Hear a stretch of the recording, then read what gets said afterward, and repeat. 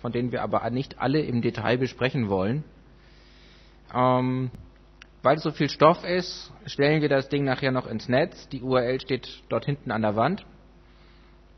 Da kann man dann Details auch nochmal nachlesen. Wer dann da sich unbedingt zu, ähm, zu den diversen Bits im IP-Header oder so tiefere Gedanken machen möchte, findet die Informationen dann auch im Web.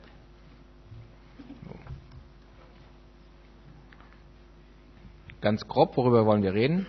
TCP/IP und das Internet. Zur Erläuterung das Schichtenmodell, das TCP/IP-Protokollfamilie verwendet. Unterscheidung IP, UDP, ARP, Routing. Dann TCP als das am weitesten verbreitete auf IP aufsetzende Protokoll und auch das komplexeste, wenn wir etwas mehr im Detail besprechen. Kurze Sätze zu Anwendungen und Angriffspunkten werden dann den Vortrag beschließen.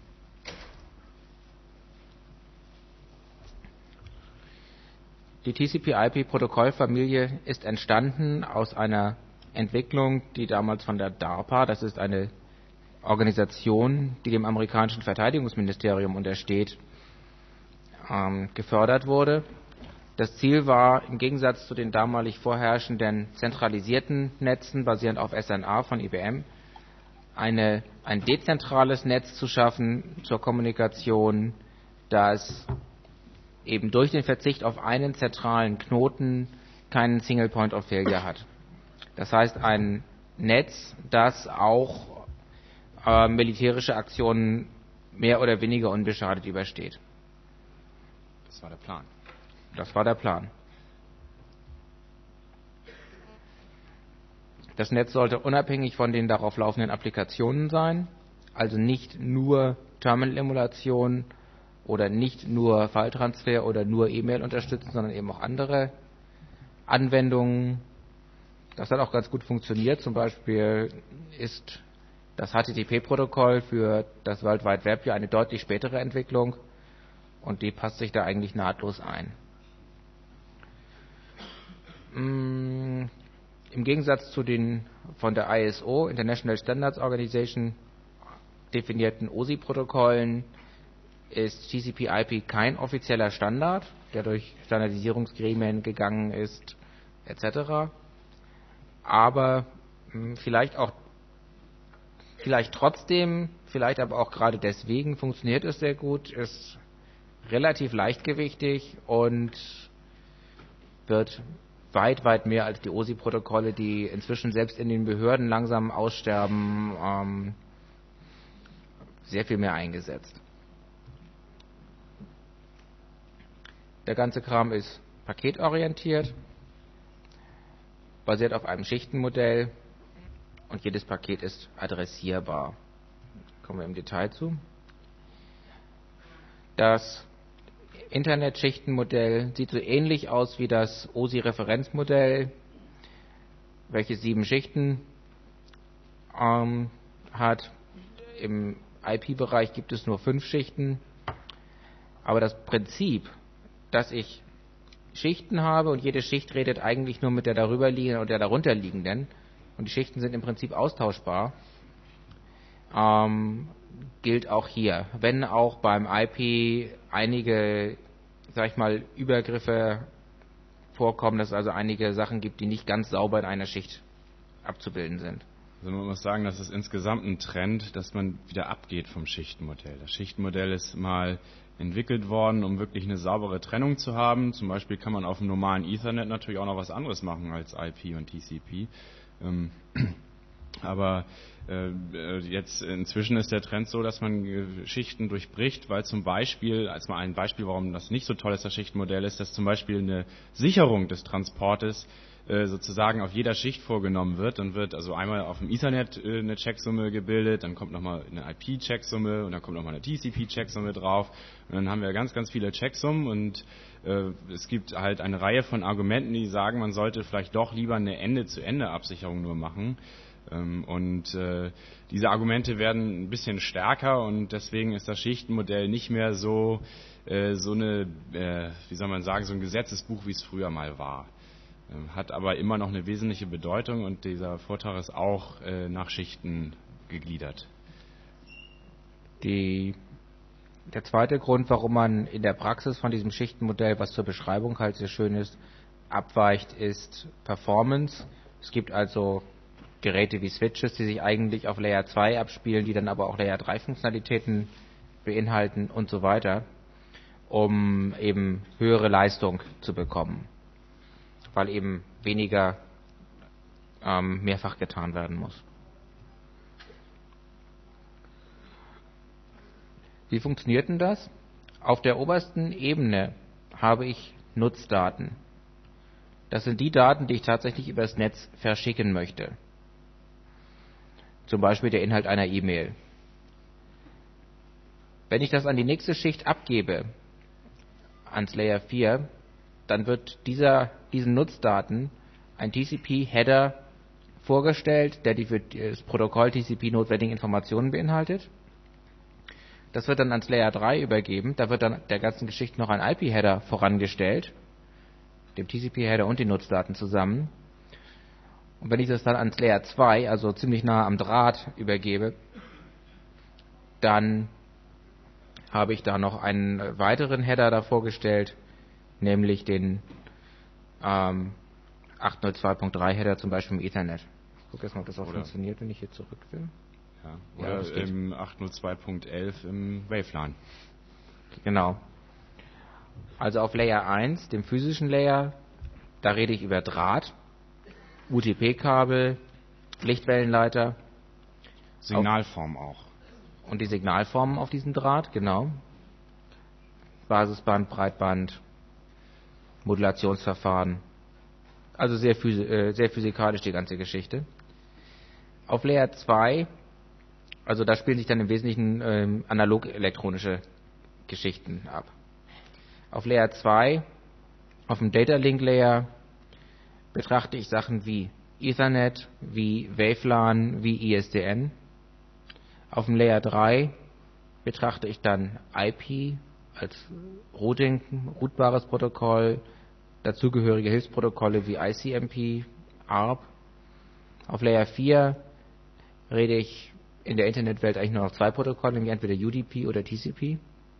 Was das genau ist, kommen wir später zu. Und auf Layer 5 finden sich dann Sachen wie Terminal-Emulation, Telnet, wie FTP, wie HTTP etc.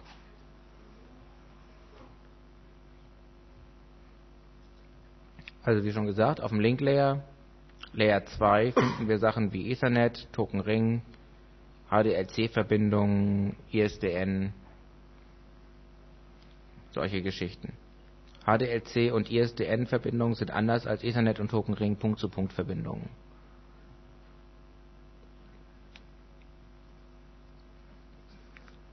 Das verbreitetste oder die verbreitetste Technologie im lokalen Netzbereich ist sicherlich Ethernet. Da findet man 10 Megabit, was einigermaßen am Aussterben begriffen ist, 100 Megabit und zunehmend Gigabit. Die verwenden alle dasselbe Protokoll was dafür sorgt, dass die Hardware, der intelligente Teil der Hardware, für diese Geräte eigentlich gleich sein kann. Für alle drei Geschwindigkeiten. Muss natürlich schneller sein. Wenn ich Gigabit mache, das brauche ich ein bisschen schnellere Elektronik, als wenn ich da 10 Megabit drüber schieben will. Im Ethernet habe ich eine Adresse, die nur lokal gültig ist in meinem LAN. Die wird nicht nach draußen gegeben, die sogenannte MAC-Adresse, MAC. Die hat 6 Bytes die ist normalerweise in meiner Netzwerkkarte eingebrannt. Ich brauche mich also nicht darum zu kümmern, die zu vergeben. Bei den meisten Netzwerkkarten kann ich diese Adresse selbst vergeben, wenn ich dann unbedingt Wert drauf lege. Es ist aber nicht unbedingt sinnvoll.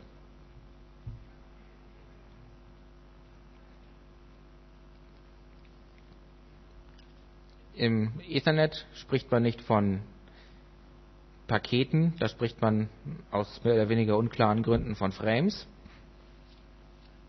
Ein Ethernet-Frame hat einen Datenteil, der mindestens 46 Bytes lang ist, maximal 1500 Bytes.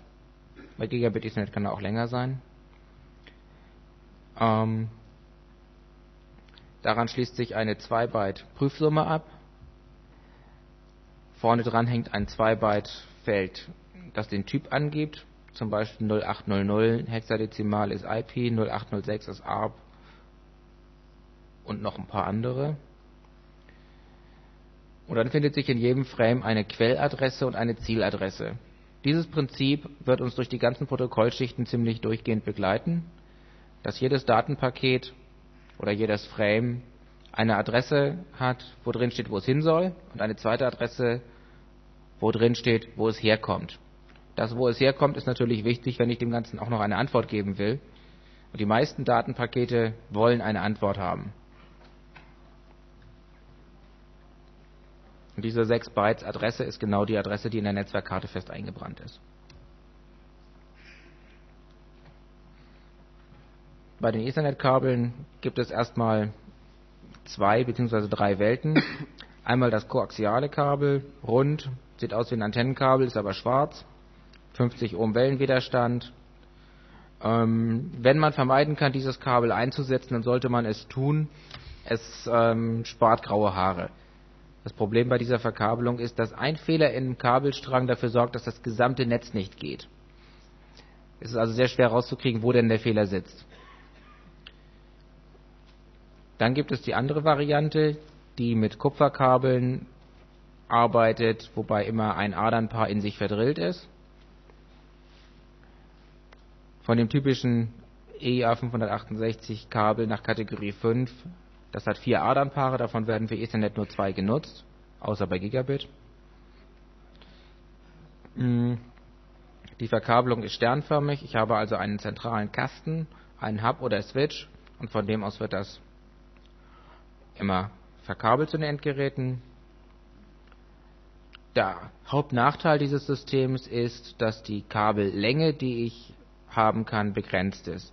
Ich kann 90 Meter Kabel in der Wand haben, plus 10 Meter für die Anschlusskabel an den Enden. Das ist nicht wirklich viel, da kommt man also in einem mittleren Gebäude leicht hin, was dann dazu führt, dass man mit Etagenverteilern oder ähnlichen Geräten arbeiten muss. Also mit aktiven Verteilern, was dann die Kosten etwas in die Höhe treibt. Trotzdem ist das die Technologie, die sich durchgesetzt hat. Die dritte Variante ist Lichtwellenleiterkabel. Die wird zum Teil, allerdings sehr, sehr selten, für 100 Megabit eingesetzt. Wirklich durchsetzen wird sich Lichtwellenleiter höchstens für Gigabit, weil Gigabit über Kupferkabel wirklich schwierig ist, das zuverlässig zu bekommen. Kleiner Exkurs, weil man in der Praxis vielleicht damit mal was zu tun hat. Diese RJ45-Stecker, die für Ethernet verwendet werden, haben, sind so kleine Plastikstecker, haben acht Anschlüsse. Ähm, das Gemeine ist, es gibt zwei Anschlussbelegungen auf dem Markt, EIA 568a und EIA 568b. Die unterscheiden sich ausschließlich dadurch, ob das erste Adernpaar das grün-weiß und grün oder orange-weiß und orange ist. Das Fiese ist, wenn man eine, ein Kabel auf der einen Seite nach 568a und auf der anderen nach 568b belegt, funktioniert es nicht. Kann man relativ lange nachsuchen. Also sollte man, wenn man irgendwie anfängt, ein Netzwerk zu bauen, einfach mal diktatorisch festlegen, ob man A- oder B-Belegung haben will. Und jeden einfach ähm, aus dem Haus jagen, der die andere haben möchte. Die Adernfolge ist relativ leicht auswendig zu lernen. Ähm, der Witz ist, dass immer die Adern die gleiche Farbe haben, mit weiß oder ohne weiß, ein Paar sind, das miteinander verdrillt ist. Also Pin 1 und 2 sind grün, weiß und grün. Das ist ein Paar. Das zweite Paar, was man für Ethernet braucht, ist weiß, orange und orange. Und die sind im Stecker so angeordnet, dass die Beeinflussung der verschiedenen Aderpaare untereinander möglichst vermieden wird.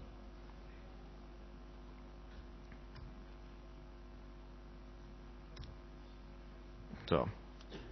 Jetzt haben wir die physikalische Ebene endgültig äh, verlassen. Jetzt fangen wir an, über IP, Internetprotokoll zu reden. Gleichzeitig haben wir die Ebene, die nur im lokalen Netz funktioniert, verlassen. Auf Layer 3 auf IP-Ebene wird geroutet. Das heißt, Datenpakete werden auch über Grenzen meines lokalen Netzes hinweg zugestellt. Dazu gibt es Kisten, die heißen Router, andere sagen Router, das geht beides, weil das eine ist Englisch, britisches Englisch, das andere ist amerikanisches Englisch. Etwas verbreitet ist wohl Router. Diese Pakete oder Daten werden grundsätzlich in Form von Paketen befördert, wie schon gesagt. Jedes Datenpaket wird getrennt von allen anderen Datenpaketen befördert. Genauso wie es der Post egal ist, wenn ich den einen Container voll Paketen zustelle und die sollen alle nach München ähm, Schillerstraße 17, dann ist nicht gesagt, dass alle diese Pakete mit demselben LKW befördert werden. Es kann sogar sein, dass manche mit dem LKW, manche mit der Bahn und manche mit dem Zug, äh, mit dem Flugzeug befördert werden. Jedes Datenpaket im Internet wird unabhängig von allen anderen Datenpaketen befördert und auch die Antwort muss nicht auf demselben Weg zurückkommen, wie das Originalpaket hingegangen ist. So. IP ist für sich gesehen ungesichert. Das heißt, es wird ein Paket auf die Reise geschickt und dem IP-Protokoll ist es schnurzpiep egal, ob dieses Paket jemals ankommt. IP macht keine Versprechungen, dass Pakete ankommen und hat auch keine Vorkehrungen dafür, eventuell verloren gegangene Pakete noch einmal zu senden oder so. Dieses wird erst auf höheren Protokollschichten gemacht. Das Protokoll ist verbindungslos, das heißt jedes Paket vom Absenden eines Pakets bis zum Ende, wenn das Paket abgeschickt ist, dann ist für IP die Sache erledigt. Es wird also keine Verbindung zwischen verschiedenen Rechnern aufgebaut, die gehalten wird über ein Telefon und dann irgendwann wieder getrennt wird, sondern es wird ein Paket weggeschickt und das war's. Das IP-Protokoll arbeitet mit Adressen. Diese Adressen sind 32 Bit lang und werden üblicherweise in Form von vier dezimalen Zahlen mit Punkten dazwischen geschrieben.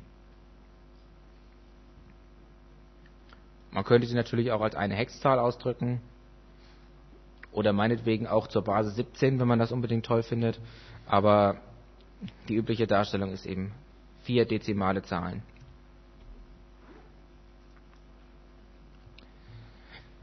IP-Adressen gehören entgegen verbreiteter Meinung nicht zu einem Rechner, wie zum Beispiel zu diesem Notebook, sondern zu jedem Interface eines Rechners. Wer dieses Notebook zwei Netzwerkkarten hat, zum Beispiel eine WLAN-Karte und eine Ethernet-Karte, dann hat es auch zwei IP-Adressen.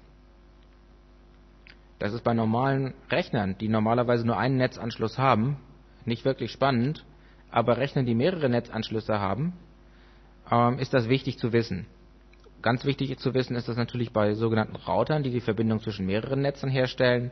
Die müssen sehr wohl wissen, welches, an welchem Kabel welche Adresse hingehört, weil die ja die Datenpakete entsprechend sortieren sollen.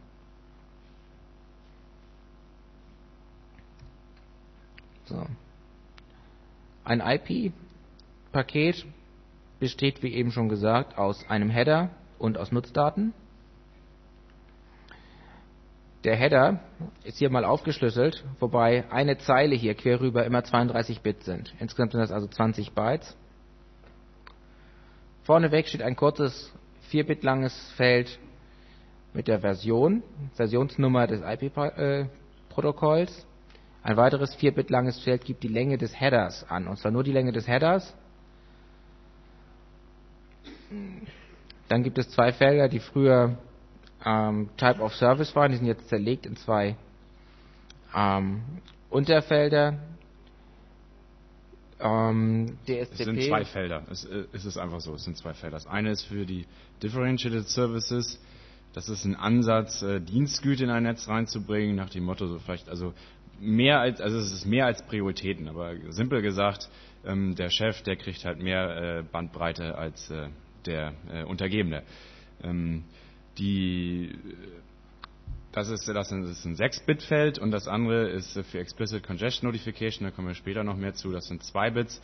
Äh, wichtig ist eben, dass es kein Type of Service mehr gibt. Also wenn man jetzt äh, zum Beispiel im, im Linux-Kernel Firewall macht oder so, dann ist da immer noch viel mit TOS und so, das gibt's alles gar nicht mehr. Und äh, wer ECN mal eingeschaltet hat bei seinem Linux-Rechner, wird auch feststellen, wie wenig Rechner er noch erreichen kann, weil viele immer noch davon ausgehen, dass das TOS-Felder sind und dann irgendwie, was weiß ich, Pakete wegwerfen, weil das nicht so ist, wie sie das erwartet haben.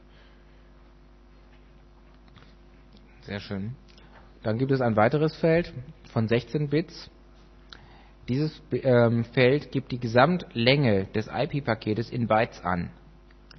Das heißt, ein IP-Paket kann klassisch nur 65.000 536 Bytes lang sein. Das heißt, ich kriege nur 65.516 Bytes Nutzdaten maximal rüber. Weil ich ja 20 Bytes für den Header abziehen muss. Das stimmt nicht mehr ganz, weil bei sehr langen, sehr schnellen Leitungen ich damit Probleme kriege, wenn ich nur so kleine Felder, äh, kleine Pakete machen kann. Deswegen gibt es in dem ähm, Flex-Feld hier die Möglichkeit zu sagen, nein, nein, die Gesamtlänge ist nicht in Bytes zu lesen, sondern die ist in größeren Einheiten zu lesen. Und damit kann ich dann also die maximale Paketgröße erhöhen. So, dann gibt es eine laufende Nummer des Pakets. Das ist mal ganz hilfreich, wenn man die sortieren möchte. Dann gibt es eben dieses besagte Flex-Feld. Dann gibt es ein Fragment Offset. Das heißt, wenn ich ein Paket habe, was für einen Teil meiner Strecke zu groß ist, nicht jede Datenstrecke kann Pakete beliebiger Größe transportieren. Ein sehr typischer Fall ist eine X.25-Verbindung, wo die Größe eines äh, Paketes typischerweise auf 128 Bytes begrenzt ist. Das heißt, ein, wenn da ein IP-Paket ankommt, und das ist meinetwegen 3000 Bytes lang, dann muss das in mehrere kleinere Paketchen namens Fragmente zerlegt werden. Dieser Fragment-Offset sagt einfach, wo im Rahmen des Gesamtpaketes ist dieses ähm, Fragment, was hier gerade angekommen ist, einzusortieren. Dafür brauche ich eben auch die laufende Nummer des Pakets, damit die Fragmente wirklich wieder ins richtige Paket einsortiert werden. Diese Fragmentierung und auch wieder Defragmentierung macht IP, das heißt, dafür sind die höheren Schichten nicht mehr zuständig. Und damit ähm, wird das also für höhere Protokollschichten transparent abgefackelt. So. Dann gibt es noch eine Time to Live. Das sagt, diese Time to Live gibt an, wie viele ähm, Zwischenstationen dieses Paket noch passieren darf, bevor es als gammelig weggeworfen wird. Sinn, dieser Übung ist, jeder Router unterwegs, jede Zwischenstation, zählt diese Time to Live um eins herunter. Und wenn sie dann null ist, schmeißt ähm, der Router das Paket einfach weg. In der Regel sind die freundlich genug und schicken einem eine Meldung zurück und die sagt, ich habe dein Paket weggeschmissen, weil es zu alt war. Sinn der Übung ist, dass ich Schleifen vermeide. Wenn ich eine, ein Paket auf die Reise schicke, und sage, okay, das soll irgendwann mal da hinten hin, ich schicke das dir, du schickst das, sagst, der beste Weg, um da hinten hinzukommen, bist du, und du sagst aber, der beste Weg, um da hinten hinzukommen, bin ich, dann läuft dieses Paket im Kreis. Und wenn ich keinen Mechanismus habe, diesen Kreis aufzubrechen, dann wird das Paket bis zum Wärmetod des Universums kreisen. Und das ist nicht wirklich zweckdienlich. Deswegen wird dieser Time to Live ständig runtergezählt. Die einzige Stelle, wo man als normaler Anwender sehr sichtbar mit dieser Time to Live in Berührung kommt, ist das Programm Traceroute. Das benutzt nämlich genau dieses Feld, um ähm, auszuklingeln, wie meine Pakete eigentlich laufen. Indem es nämlich mit einer künstlich kleinen Time to Live ein Paket auf die Reise schickt und guckt mal, wo die Fehlermeldung herkommt. Und dann schickt es das mit einer etwas größeren Time to Live durch die Gegend und guckt, wo dann die nächste Fehlermeldung herkommt. Und so kann das rauskriegen, wie meine Pakete laufen. So. Dann gibt es eine Prüfsumme über den Header. Nicht über die Nutzdaten, sondern IP macht eine Prüfsumme nur über den Header. Idee ist, wenn der Header schon kaputt ist, dann brauche ich den Rest des Pakets mir gar nicht mehr anzugucken, weil ähm, ich kann es ja schon nicht mal mehr sauber zustellen. Ja, eine Quell-IP-Adresse und eine Ziel-IP-Adresse und danach können dann noch Bytes kommen, die Optionen darstellen. Deswegen gibt es dieses Flag, wie lang, oder dieses Feld ganz am Anfang, wie lang ist der Header.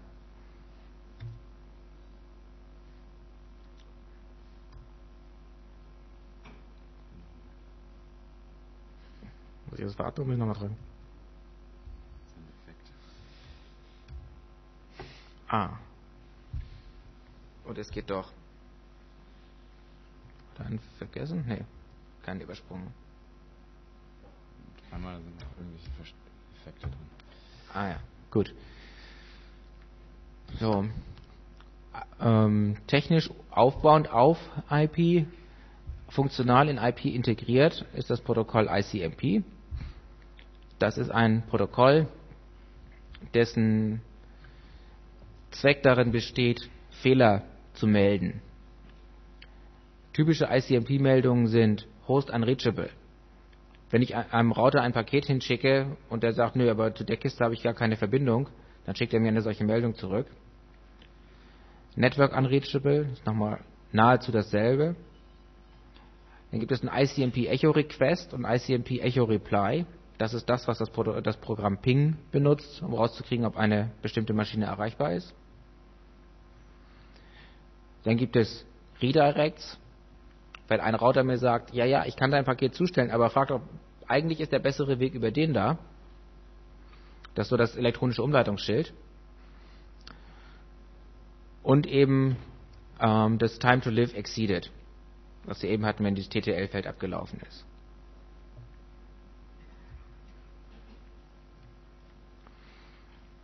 Was man dann noch braucht, um, wenn das Paket im Zielnetzwerk, aber noch nicht am Zielrechner angekommen ist, ist ARP. Da muss ich die physische Adresse, die Ethernet-Adresse wissen, wo ich das Ding hinschicken soll, weil ich stecke das dann zwar auf meinen Ethernet-Draht, aber ich muss ja die richtige Adresse in den Ethernet-Frame hineinschreiben. Und weil eben kein Rechner dieser Welt die Ethernet-Adressen sämtlicher Rechner dieser Welt kennen kann, es wären viel zu viele. Mm, und es für das Routing normalerweise auch gar nicht erforderlich ist, werden IP-Pakete halt mit vierbeitigen IP-Adressen adressiert und die für die endgültige Zustellung notwendigen MAC-Adressen bekomme ich über das ARP-Protokoll. Wenn ich also im Ethernet ein Paket loswerden will, dann schicke ich einen ARP-Request durch die Gegend und den schicke ich als Broadcast, als Ethernet Broadcast. Also an alle. Weiß jemand, welche Adresse, ähm, äh, welcher Rechner die IP-Adresse 1234 oder so hat? Irgendein Rechner im Netz sagt, Moment mal, das ist ja meine. Dieser wird also einen ARP-Reply schicken.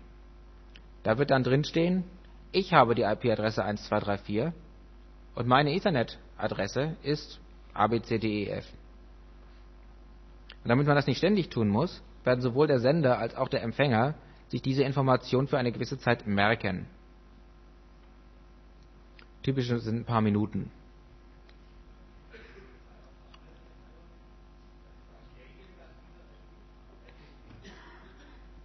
Die Frage war, ob ich auch einen anderen Rechner dazu bringen kann, diese Information zu geben als den eigentlich angesprochenen. Ja, das kann ich.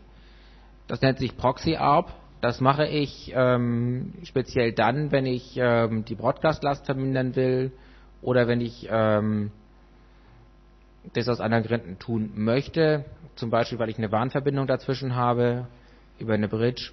Ja, das kann ich, das geht. Also äh, gerade hier auf dem Kongress kann man ja auch äh, feststellen, dass man mit ARP viel Mist machen kann.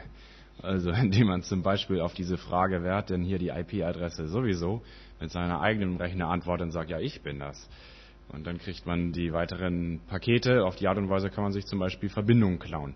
Ähm, also oder äh, dieser ARP-Cache, ähm, ganz beliebter Trick. Äh, die etwas älteren Switches, die hatten das Problem, dass äh, sie natürlich nach den MAC-Adressen geswitcht haben. Also je nachdem MAC-Adresse sowieso hängt an dem und dem Port. Das mussten die sich natürlich merken in einem Cache. Und äh, wenn man die einfach mal bombardiert hat mit äh, ARP-Nachrichten, dann war dieser Cache schnell voll und dann konnte der Switch sich nichts Vernünftiges mehr merken. Das heißt, er musste dann entweder in einen Broadcast-Modus schalten, wo er dann sich wie ein Hub verhält und alle Daten an alle Ports rausgibt. Oder er musste nochmal selber eine Abartfrage stellen und äh, in beiden Fällen kann man natürlich dann das dazu nutzen, wieder alle Daten mitzulesen und dann auch in einem Switch äh, das gesamte Netzwerk mitzusniffen. Es gibt eben auch ähm, Switches, die sagen, wenn ich auf einem Port mehr als beispielsweise 100 angeschlossene Rechner finde, durch dieses, eben mit diesem ARP-Spoofing, dann schalte ich diesen Port gnadenlos ab. Das sind dann die, die sichereren. Aber das ist dann auch wieder eine Denial of Service. Wie gesagt, also auf Kongressen wie diesen oder auf, äh, auf äh, der Hell zum Beispiel, da kann man das beantworten, wenn äh, sehen, wenn das äh, Netz mal wieder überhaupt nicht funktioniert, dann hat wahrscheinlich jemand wieder Upflooding gemacht und dann ist der Fall für die WC-Ente da. Ne? Ja, genau. Ähm, Entschuldigung, kann ich mir das so vorstellen wie die DNS-Server ähm, im Internet sozusagen? Also die so Art DNS-Server nur für die MAC-Adressen. Ja, wir reden hier nur vom lokalen Netz jeweils. Ne? DNS-Server ist ja für, für weltweites Netz im Grunde. Ja, ja schon, aber, aber es ist so eine Art ähm, vom, vom Prinzip her ähnlich. Ähm, ja, ja, eigentlich nicht. Beim DNS-Server fragst du ja einen Server, ähm, ich habe hier einen Namen sowieso, sowieso sag mir mal die IP. Und äh, hier ist es eher so im Normalfall, dass du einfach an alle sendest. Ähm, ich suche den und den, melde dich mal bei mir. Äh, das ist also ein ganz anderes Prinzip. Okay, okay. Herr Müller, bitte zur Geschäftsleitung. Nee, so wie, wie die, das funktioniert im Prinzip wie die Durchsage im Kaufhaus. Ähm, Herr Müller, bitte 17 anrufen. Ähm, genau so. Wenn also im Kaufhaus das Büro jemanden speziellen sucht, dann sagen die, Herr Müller, bitte 17 anrufen. Dann ruft er an und danach ist die ähm, weiß sowohl das Büro weiß das Büro auch, dass der Herr Müller jetzt am Telefon 57 zu erreichen ist im Moment gerade. Genauso funktioniert das und beide merken sich das. Also es ist bestenfalls mit dem Win von Windows zu vergleichen, die Namensauflösung. Das frage ich auch, wer bist du äh, und merk mir das dann. Ja, aber über Wins wollen wir jetzt hier lieber nicht reden. Also, ähm, das ist ein weites Feld und ein sehr ekliges.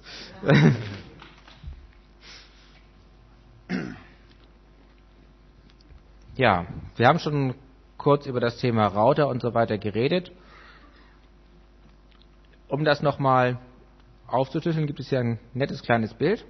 Wir haben einen Rechner A, der ein Datenpaket an einen Rechner B befördern möchte.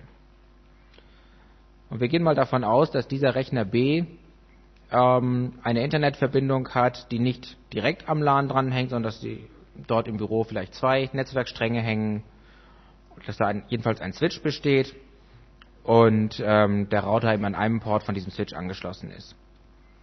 Also schickt das Application Layer Programm, sei es ein E-Mail-Programm, die Daten herunter über Application Layer, Transport Layer, Internet Layer, Data Link Layer auf dem physischen Layer, sprich auf dem Ethernet kommt der Kram dann an.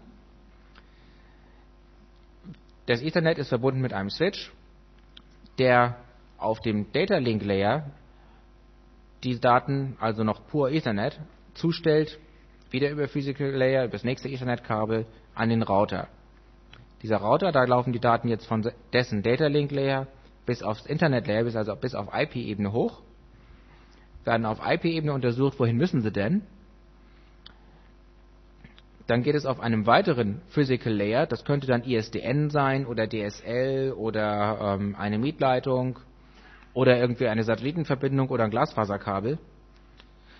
Ähm, gehen Sie zur Zieladresse. Dieses Spielchen über Data Link Layer und Internet Layer kann sich jetzt noch beliebig oft wiederholen, bis Sie irgendwann im physischen Layer des Zielnetzwerks angekommen sind. Auch da geht es dann wieder alle Layers hoch, bis er beim E-Mail-Programm, E-Mail-Server-Programm des Rechners B angekommen ist. Also man kann sich jetzt auch vorstellen, dass es jetzt noch ein weiteres Gerät im Netz gäbe, was sozusagen bis zum Transport-Layer geht, äh, bis zum Layer 4. Ähm, da hat sich nicht so ein gängiger Name eingebürgert wie also Switch oder Router, sondern das heißt dann einfach Layer 4 Switch oder Layer 4 Router. Ähm, kann man auch schon kaufen. Äh, da, da kommen wir noch näher zu, was genau auf dem Transport-Layer gemacht wird. Aber äh, mal eben so, was so in den letzten zwei Jahren war, ist äh, die Hardwarehersteller, die wollten irgendwie zeigen, dass das alles viel besser wird und haben dann sogenannte Layer 3 Switche rausgebracht. Also äh, Layer 3 ist ja eigentlich Router. Ne? Das Internet Layer, das Ding heißt eigentlich Router. Was sie verkauft haben, war ein Layer 3 Switch. Und dann fragt man sich natürlich, wo ist denn da jetzt der Unterschied zum Router? Ja, man will sagen, dass das Ding besonders schnell ist. Also der Layer 3 Switch ist ein Router, der schnell ist. Ähm, das war eben die Marketingabteilung. Und äh, so ging das jetzt weiter, dass wir bald Layer 4 Switcher haben werden und die werden noch schneller sein, haben wir nichts mit Layer 4 zu tun, also keine Ahnung, wir wissen es nicht, aber ähm, es wird alles etwas komplizierter, weil eben die Marketingleute da versuchen, ihre neuen Produkte irgendwie schöner anzupreisen. Ja. Bei einem Layer 3 Switch ist eben der Witz, das ist ein Router, der im Wesentlichen für lokale Netze gedacht ist, eben nicht für Weitverkehrsverbindungen. Das heißt also, der an allen Enden wieder Ethernet spricht. Und was die da machen, um die Sache zu beschleunigen, ist, dieses Routing ist relativ teuer. Ich muss also relativ viel CPU investieren, um echtes Routing zu machen. Um einmal rauszukriegen, wo muss das Datenpaket eigentlich hin. Was ein Layer 3 Switch also macht, ist, er trifft diese Routing-Entscheidung einmal und merkt sich diese Routing-Entscheidung ähm, auf der Ebene von Layer 2, also von MAC-Adressen. Unter der Prämisse, dass sich die Zuordnung von einer, im LAN jetzt, von einer IP-Adresse und einer MAC-Adresse vergleichsweise selten ändert. Im Internet ist das was anderes, da kenne ich keine MAC-Adressen. Aber im LAN kenne ich ja die MAC-Adressen auch dieser Geräte. Und das, wie gesagt, diese Zuordnung ändert sich relativ selten. Das heißt, ich kann mir das durchaus äh, mit gutem Gewissen für ein paar Minuten merken. Und weitere Pakete, die über diese Verbindung fließen, zwischen diesen beiden Geräten fließen, ähm, kann ich auf MAC-Adressenebene im Switch abfackeln. Das ist die Idee dahinter. Ähm, und das beschleunigt den Verkehr doch durchaus, das ist messbar. Und nicht alle, nicht alle Layer 3 Switcher arbeiten so. Also das ist eigentlich mal der ursprüngliche Gedanke gewesen. Allerdings äh, äh, hatten dann eben viele Hersteller gesehen, oh, das zieht, wenn ich das Ding als Layer 3 Switch verkaufe und äh, verkaufen dann eben auch andere Geräte als Layer 3 Switch und äh, da muss man wirklich höllisch aufpassen, wenn man sowas einkauft, was man da eigentlich kauft. Gerade bei den Layer 4 Switchen, da fängt also da, da wird es richtig abenteuerlich. Ähm, letztendlich wollen sie eben nur damit sagen, dass das Gerät eben sich auch äh, in höheren Layer was angucken kann. Also ein Layer 4 Switch kann dann auch irgendwie über Ports irgendwas äh, entscheiden. Ja, also zum Beispiel eine Firewall, die guckt natürlich auch nach Ports, lässt eben nur bestimmten Service durch. Ist dann irgendwie Layer 4 Firewall oder sowas. Und dann, wenn man jetzt eine noch tollere Firewall haben will, dann hat man dann die Layer 5 Firewall. Die guckt auch noch, was in der Applikation passiert, sprich meinetwegen Virenfilter oder sowas. Also alles, was über die klassischen Begriffe Switch und Router hinausgeht, heißt gründliches Lesen der, ähm, der Dokumentation weil sonst kann man sehr viel Geld für etwas ausgeben, was man effektiv nicht wirklich braucht.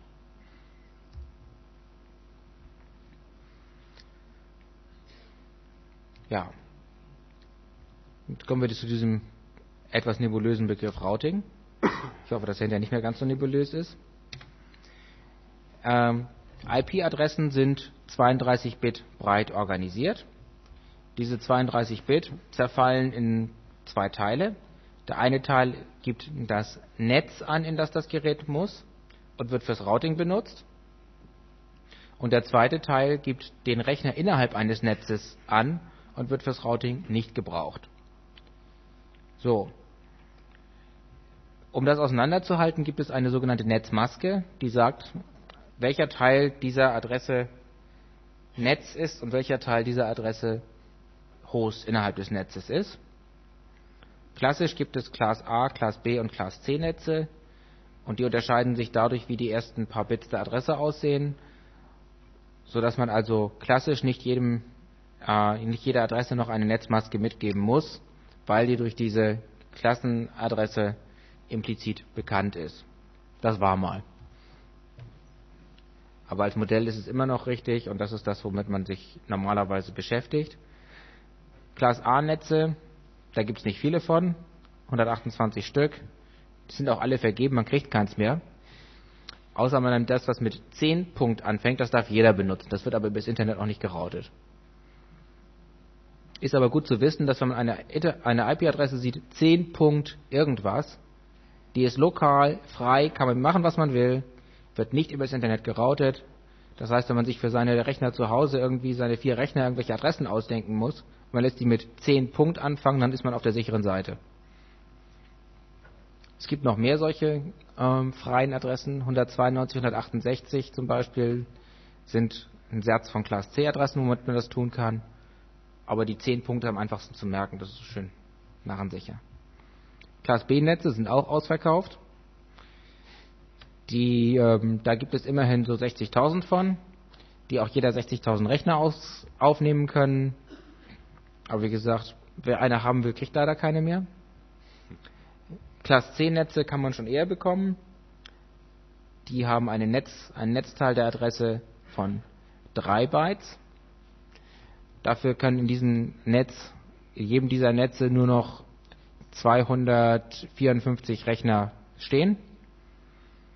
Mehr geht nicht. Bei mir kann ich mit den 8-Bit ähm, nicht adressieren. Zwei Kombinationen, nämlich 0 und die höchste 255 sind reserviert für andere Zwecke. So. Aber ich kann diese ähm, Subnetz-Trennung, wo eigentlich ähm, der Netzteil anfängt und wo der Hostteil aufhört, kann ich frei verschieben durch diese Netzmaske. Und das ist auch das, was man heutzutage tut.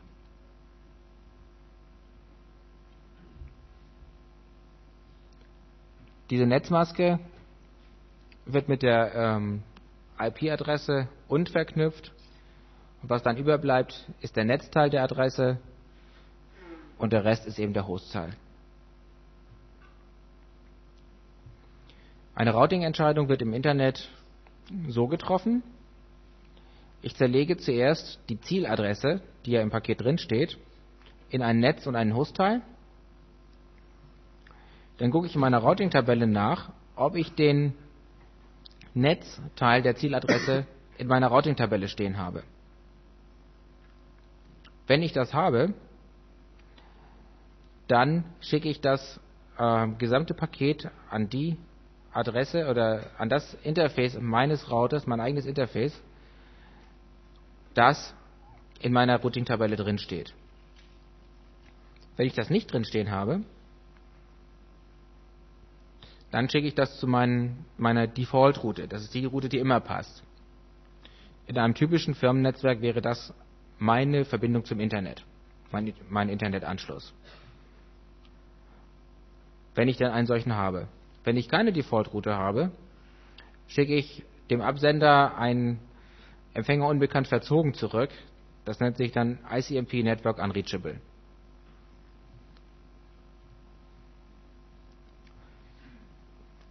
Ich habe eben darüber gesprochen, dass ich Routing-Tabellen brauche, Adressbücher letztlich. Die sind relativ umfänglich. Wenn ich also für die Routing-Tabelle fürs gesamte Internet irgendwie laden wollte, das wäre doch ziemlich viel.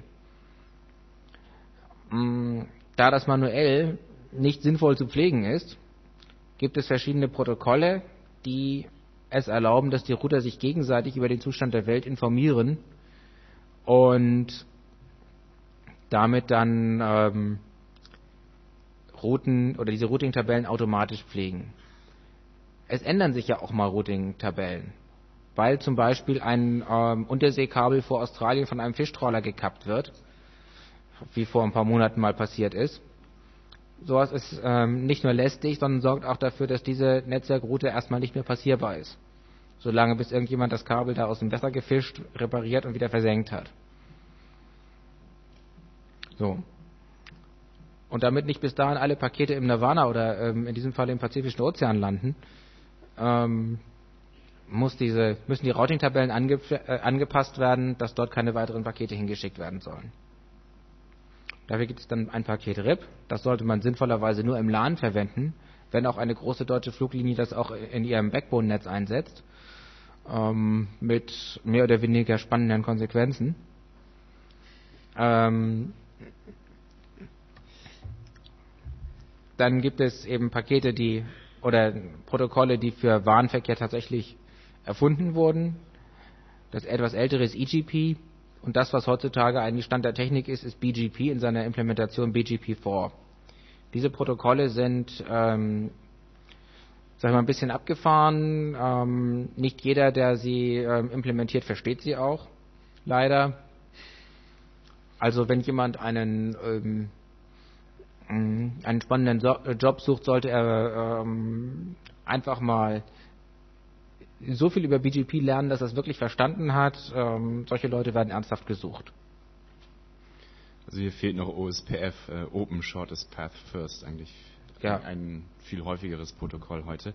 Man unterscheidet eigentlich grundsätzlich einmal zwischen dem, äh, dem Protokoll, was ein Provider in seinem internen Netz benutzt, Also meinetwegen die Deutsche Telekom, die sollte ihre Router untereinander mit OSPF sprechen lassen. Ich weiß nicht, ob sie es tut, aber ähm, sollte so sein. Wäre sinnvoll, ja. Und äh, dann eben zwischen den Providern spricht man dann BGP. Äh, obwohl heute schon viele feste Routen einbauen, das merkt man daran, dass dann irgendwie das Netz dann drei Tage nicht geht, wenn tatsächlich das Kabel gekappt wird. Oder beispielsweise, wenn wir einen Kongress veranstalten, holen uns ein großes Subnetz hier und warten darauf, dass das dann auch hierher geroutet wird. Hm. Genau. Ja. Unter Unix ähm, ist das Standardsystem, um das zu verwalten, GateD. Der Daemon, das ist also ein Programm, das auf diese Nachrichten reagiert und die Routing-Tabellen entsprechend anpasst. Ähm, ein GateD sollte man auch nur dann ähm, implementieren auf seinem System, wenn man das wirklich will und weiß, was man da tut, weil ansonsten kann jeder beliebige Angreifer einen natürlich mit interessanten Routing-Informationen versorgen, die dann auch wieder dafür sorgen, dass die Pakete möglicherweise im äh, Pazifischen Ozean oder auf einem Rechner landen, wo sie gar nicht hin sollen.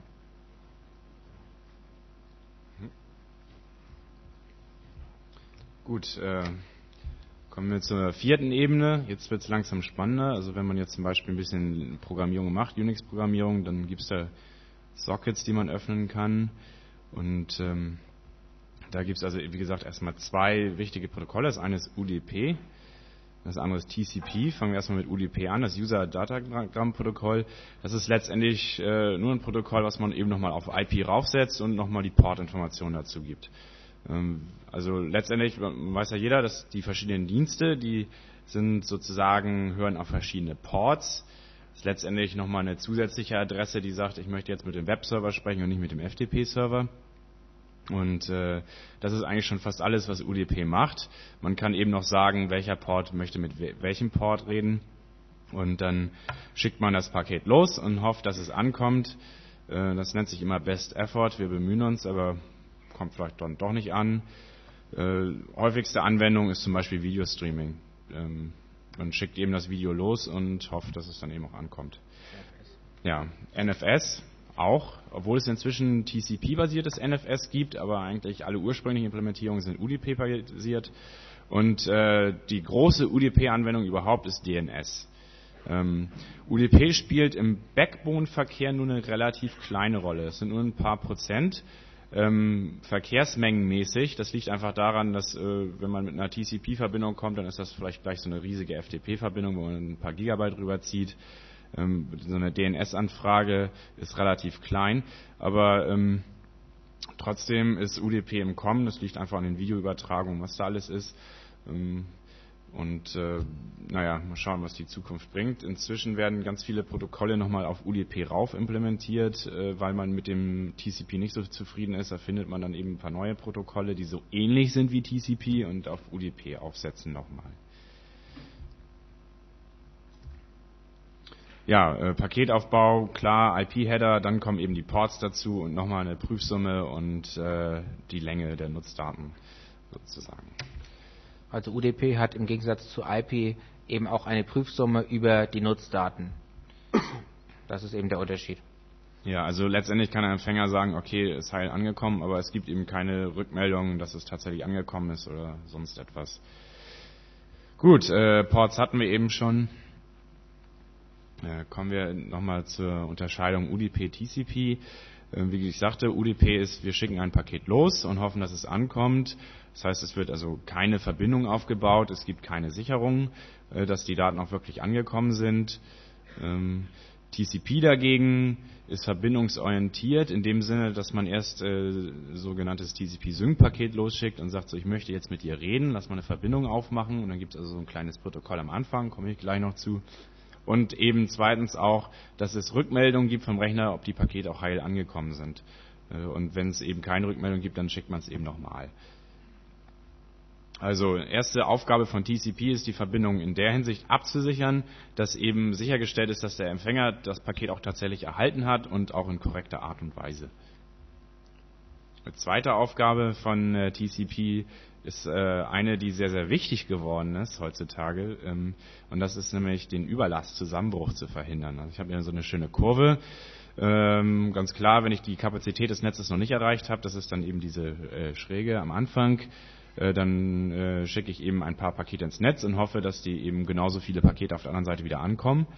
Äh, irgendwann habe ich dann die Kapazität des Netzes erreicht, dann ist da so ein Knick, zumindest in der idealen Kurve. Das heißt, äh, es kommen eben nur der maximalen Kapazität entsprechend viele Pakete an. Der Rest geht verloren, das ist aber auch normal so, da müssen wir eben die Kapazität erhöhen. Äh, die grüne Kurve ist, äh, wie es dann in der Realität ist, ist eben, also ganz ideal erreicht man es eben nicht. Aber also die grüne Kurve wäre schon sehr schön. Äh, wie wir das leider im Internet im Moment haben, ist eher die rote Kurve. Ähm, das ist, dass wenn man einen gewissen Punkt überschritten hat, dann gibt es den sogenannten Überlastzusammenbruch, dann wird nämlich alles noch viel, viel schlimmer. Ähm, und das war in der Anfangszeit äh, des Internets ein ganz, ganz großes Problem. Äh, ganz zu Anfang hat man überhaupt nichts dagegen gemacht, weil es eben nur ganz, ganz wenige Rechner im Netz gab und äh, da gab es einfach keine Überlast, weil es einfach gar nicht genug Rechner gab, die irgendwas produzieren konnten. Dann kamen immer mehr Rechner dazu und jeder hat fröhlich reingesendet in das Netz und dann kam eben genau diese Überlastsituation zustande und dann musste eben dringend etwas getan werden und dann hat man die erste Modifikationen vom ursprünglichen TCP oder das erste eigentlich richtige TCP entwickelt, ähm, was TCP Tahoe Old heißt. Ähm, ein ganz, ganz simples TCP, was aber schon eine gewisse Überlastkontrolle hat. So. Ich komme gleich mal zu den Details. Erst einmal ganz grundsätzlich Überlastabwehr. Äh, wie können wir das eigentlich machen? Bei unelastischen Verkehr, das ist Verkehr, der will mit einer bestimmten Rate senden und kann sie nicht anpassen. Das ist beispielsweise ein Video. Ein Video hat eine bestimmte Bandbreite äh, und wenn die Bandbreite nicht zur Verfügung steht, dann kommt das Video einfach nicht an und dann brauche ich auch überhaupt keine Bandbreite. Und deswegen macht man da grundsätzlich Überlastabwehr durch Rufannahme. Ähm, zum Beispiel am Telefon. Wenn ich jemanden anrufe und äh, gehe über Verbindung Hamburg-München und die Verbindung Hamburg-München ist belegt, dann bekomme ich ein sogenanntes Gassenbesetzzeichen, äh, was eben sagt, ja, Leitung ist voll. Ähm, Im Internet wird es noch nicht gemacht. Da gibt es noch keine Call Admission Control, außer vielleicht beim äh, Server direkt, den man erreichen will. Also zum Beispiel FTP-Server, da gibt es ja maximal, was weiß ich, zehn Benutzer gleichzeitig und hat das jeder bestimmt schon mal gesehen, dass dann irgendwie Verbindung gesperrt wurde. Aber äh, vom Netz her gibt es das noch nicht und es wird gerade kräftig daran gearbeitet, dass es sowas geben wird. Da kann man von ausgehen, dass es vielleicht in zehn Jahren irgendeine Art von Rufannahme im Internet geben wird. Der elastische Verkehr dagegen, der kann seine Rate anpassen. Das zum Beispiel, wenn man jetzt FTP macht, dann ist das ja eigentlich egal, mit welcher Geschwindigkeit das ankommt. Das Einzige, was einen interessiert, ist, wann ist denn, das, wann ist denn die Datei komplett da. Und äh, bei E-Mails ist das genauso. Und da kann man also die Rate anpassen. Und genau das macht der TCP-Algorithmus. Äh, der äh, passt die Rate immer der jeweiligen äh, Netzsituation an. Und das ist eben die zweite wichtige Aufgabe von TCP, die Ratenregelung der Quellen. Gut, äh, kommen wir zum äh, Grundprinzip von TCP. Äh, wir übergeben einen Byte-Stream. Also wenn wir jetzt einen Socket öffnen in Unix, dann übergeben wir den einfach einen Strom von Bytes und diese TCP-Protokollmaschine zerlegt diese Bytes automatisch in Segmente. Und die Größe der Segmente hängt dann eben davon ab, was man für eine MTU eingestellt hat, äh, wenn man zum Beispiel mit if-config sein Interface konfiguriert. Ähm, dann äh, äh, eben da kann man die Segmentgröße festlegen oder die Größe der Pakete, die erlaubt ist, hatten wir vorhin auch schon. Äh, dann äh, das zweite wichtige, äh, die wichtige Eigenschaft von TCP ist, dass es Window-basiert ist. Das heißt, es hat ein Sendefenster. Und äh, das Prinzip dieses Fensters heißt, ähm, dieses Fenster hat eine bestimmte Größe und alle Segmente, die sozusagen in dieses Fenster reinpassen, darf ich zu einer gegebenen Zeit senden.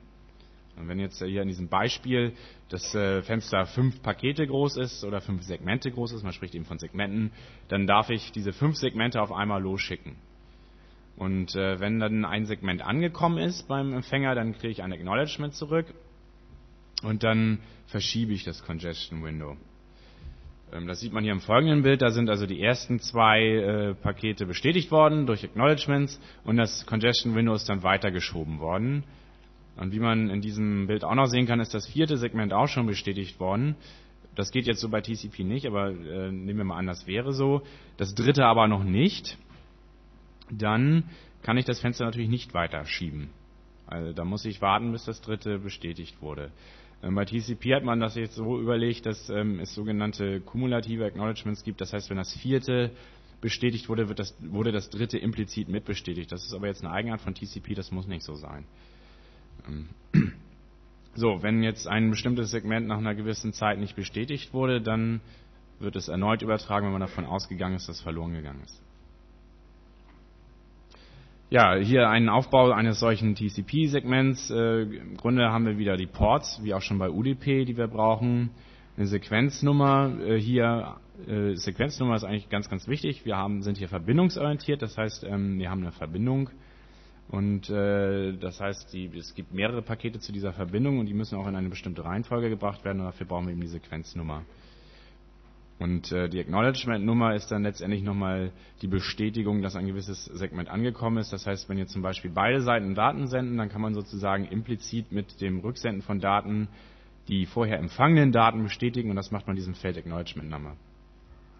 Dann wieder ein Feld für die Länge, äh, noch vier reservierte Bits, das heißt, die sind auch nicht vergeben für etwas. Das ist immer sehr schön, bei IP fehlt nämlich sowas. Und äh, da hätte man gern was gehabt. Und da hat man eben jetzt dieses TOS-Byte genommen mit äh, vielen Nebeneffekten, wie man das leider in der Praxis erfahren musste. Ähm, ja, ganz kurz, was die Flex gibt, da gibt es einmal CWR, das heißt Congestion Window Reduce, braucht man für den ECN-Mechanismus, äh, ECE ist auch für den ECN-Mechanismus ein Urgent Pointer für äh, dringende Daten, die sofort an den höheren Layer weitergereicht werden sollen. Das Acknowledgement Flag zeigt, dass das eben ein Acknowledgement ist. Ähm, Push hat eben äh, ja, auch damit zu tun, mit äh, weitergeben die Daten. RST ist das Reset äh, Flag, äh, wenn man eine Verbindung abbrechen will beispielsweise, also auf die böse Art. Ähm, Syn ist, der, ist dieser, das Flag, dass man eine Verbindung aufbauen will und Fin ist, dass man sie beenden will. Dann gibt es ein ganz wichtiges Feld, das die Window Size. Das ist eben dieses äh, Congestion Window, was ich eben genannt habe. Das steht da drin, wie groß das ist. Äh, auf die Art und Weise kann man auch wieder äh, Verbindungen sozusagen als Angreifer verlangsamen, indem man eben da falsche Window Sizes überträgt. Ähm,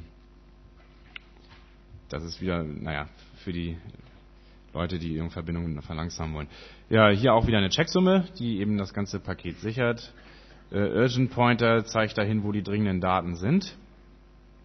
Äh, Options-Felder, da gibt es zum Beispiel solche Options ähm, wie, ähm, dass äh, diese Windows-Size, die 16 Bits groß ist, ähm, die ist ähm, auch wieder, wie wir bei IP das Problem hatten, eventuell zu klein für schnellere Leitungen, die im mehreren Gigabit-Bereich gehen. Da kann man also eine Windows-Scale-Option benutzen und kann sagen, dass diese Windows-Size eben wieder in einer anderen Einheit zu lesen ist Übrigens Windows eine der letzten Betriebssysteme, die das auch endlich implementiert haben.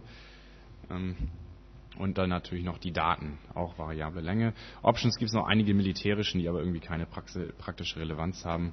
Also da könnte man zum Beispiel auch noch irgendwie reinschreiben, dass das auf keinen Fall über Irak oder Afghanistan oder den Gegner der Stunde gehen darf, ähm, aber äh, haben eigentlich keine praktische Relevanz so ein TCP-Verbindungsaufbau.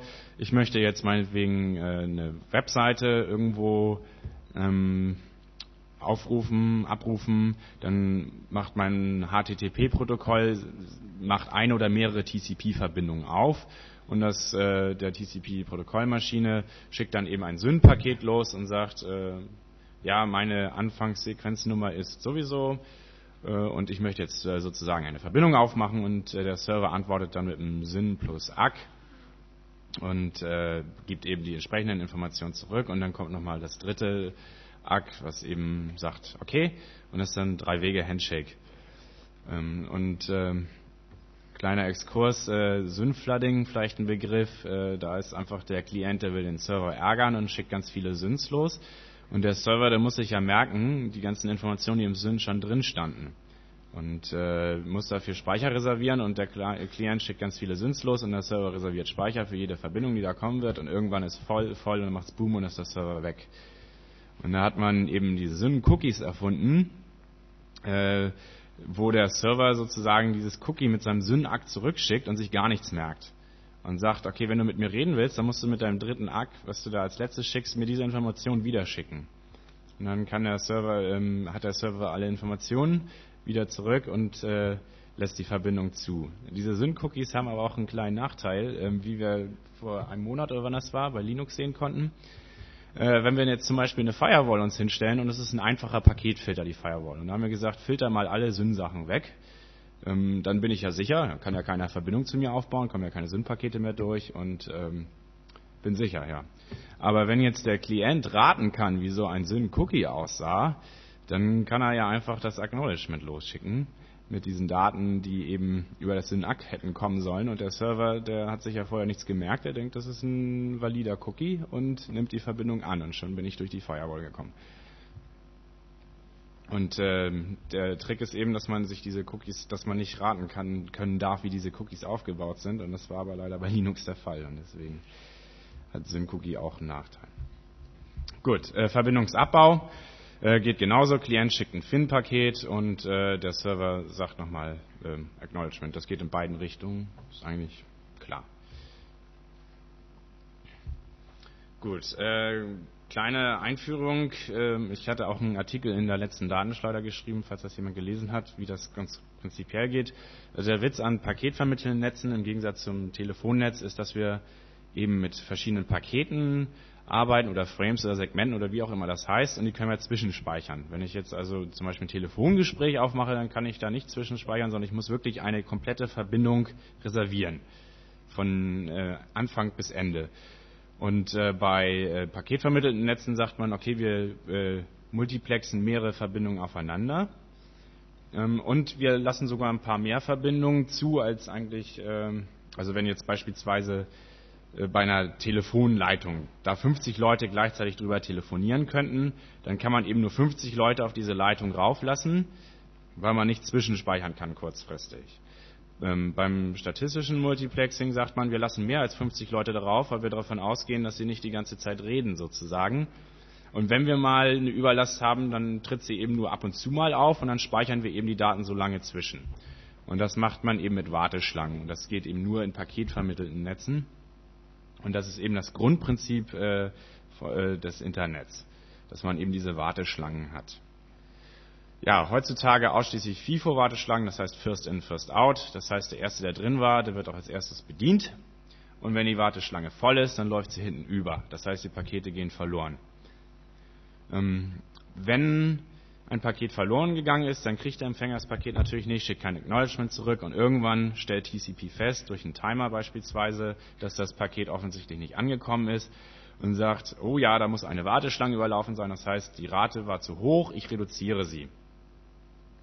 Äh, war anfangs ganz wunderbar, weil Kabelnetze, da gab es eigentlich kaum andere Gründe, warum Pakete verloren gehen könnten.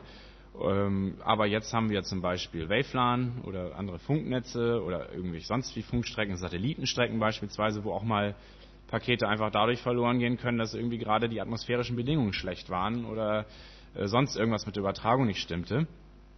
Und dann natürlich TCP weiterhin denkt, das lag daran, dass ich zu schnell gesendet habe. Die, äh, die Rate wird weiter runtergeregelt und dann habe ich ganz, ganz schlechte Performance. Ähm, also, das ist eigentlich äh, das Grundprinzip und auch das Grundproblem von TCP. Ratenregelung basiert auf Paketverlusten. Das geht äh, im Grunde durch zwei Algorithmen. Der erste heißt Slow Start. Ich schicke ein Paket los, bekomme irgendwann das Acknowledgement und vergrößere dann dieses Congestion Window. Das Congestion Window haben wir gesagt, ich kann so viele Pakete auf einmal losschicken, wie in dieses Fenster reinpassen. Hm, fange immer mit 1 an, das heißt, ich darf nur ein Paket losschicken. Wenn das erste Acknowledgement ankommt, äh, darf ich dann vergrößere ich das Fenster um eins, ich verschiebe es um eins, weil das erst äh, und dann darf ich zwei weitere Pakete, nämlich zwei und drei losschicken.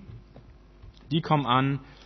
Ähm, ich bekomme die Bestätigung für zwei und drei. Hier äh, habe ich das dargestellt durch ein sogenanntes äh, Cumulative Acknowledgement, also das Akt 3 acknowledged implizit auch äh, 2. Das heißt, das äh, Congestion Window wird wieder um zwei vergrößert, für jedes Acknowledgement um eins und wird verschoben und dann darf ich vier Pakete losschicken und das Ding heißt interessanterweise Slow Start, ist aber in Wirklichkeit ein sehr schneller Start, weil wir hier exponentiell ansteigen. 1, 2, 4, mit 8, 16 so weiter geht's weiter. Der Name Slow Start kommt daher, dass ich mit der äh, Fenstergröße 1 anfange, aber es ist im Grunde der schnellste Anstieg, den es gibt. Ich könnte auch gleich mit Maximum starten. Mit der maximalen Größe starten. Könnte man machen, wird aber nicht gemacht. Eben deswegen. So. Ja, ja, deswegen sage ich. Ja, also äh, heißt eben Schluss halt, weil ich mit 1 anfange. Äh, es gibt einige äh, Implementierungen von TCP, die mit größer als 1 anfangen, aber es hat sich eben gezeigt, dass es nicht so schlau ist, weil man ja letztendlich gar nicht weiß, wo man anfangen soll. Es wäre ja eigentlich nur geraten, wo man anfangen sollte, dann kann man auch gleich mal 1 anfangen.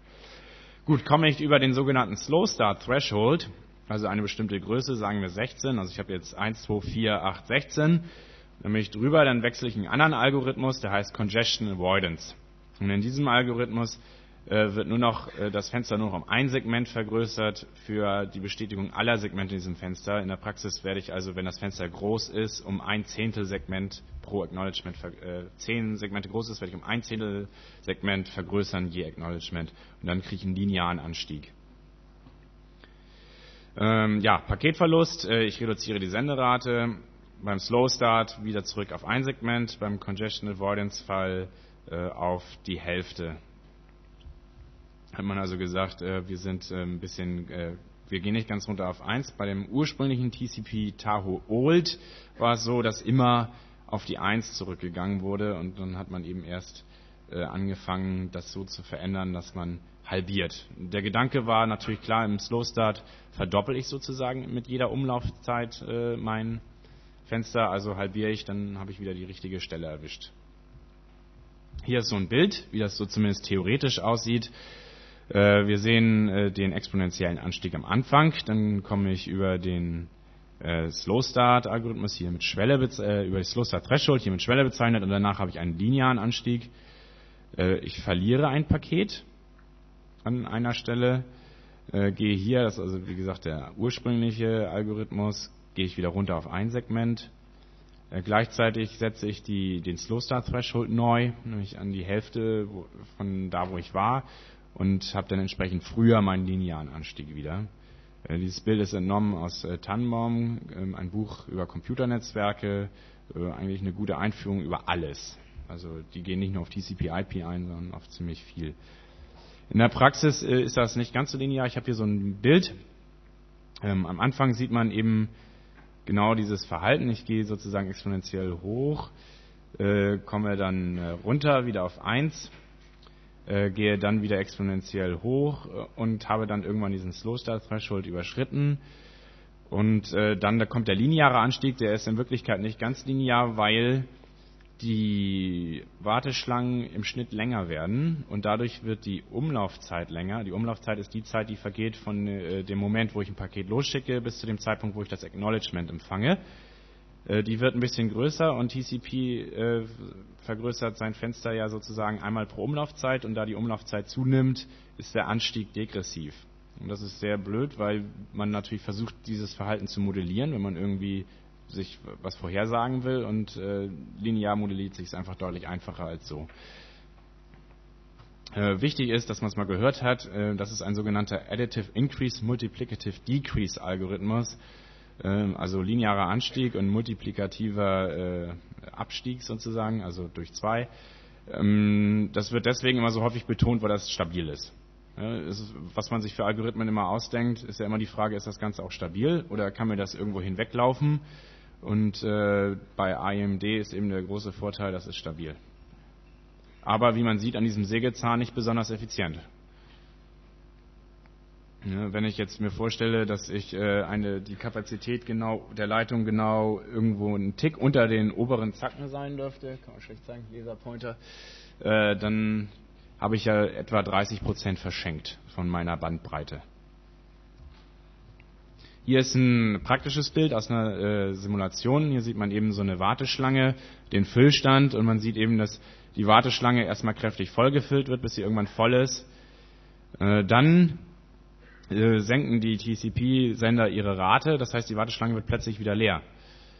Und dann geht das Ganze wieder von vorne los und dann wird es wieder voll, dann gibt es wieder Paketverluste, dann versenden, äh, reduzieren wieder alle TCP-Sender ihre Rate, dann wird es wieder runter, da sieht man schon ein ganz großes Problem, das nennt sich Global Synchronization Problem. Ähm, die Quellen senden, äh, werden alle gleichzeitig ihre Raten erhöhen und alle gleichzeitig bei Paketverlust wie ihre Rate senken und deswegen haben wir auch hier einen sehr uneffektiven äh, Vorgang. Gut, äh, Lost Detection und Retransmission, bisher habe ich erwähnt durch einen Timer. Ein Paket äh, Acknowledgement kommt nach einer bestimmten Zeit nicht, also gehen wir davon aus, es wurde verloren. Das ist der sogenannte Retransmission Timeout Timer. Äh, der wird immer dann gestartet, wenn ich äh, entweder das erste Paket losschicke oder wenn ich ein Acknowledgement bekomme und ein Paket noch unterwegs ist. Es gibt nur einen Timer. Wenn man Literatur liest, steht da häufig, ja, jedes einzelne Paket wird getimed. Muss man sich vorstellen, dass man jetzt, was weiß ich, 32.000 Pakete losgeschickt hat, dann hat man 32.000 Timer gestartet. Das macht kein Computer gerne.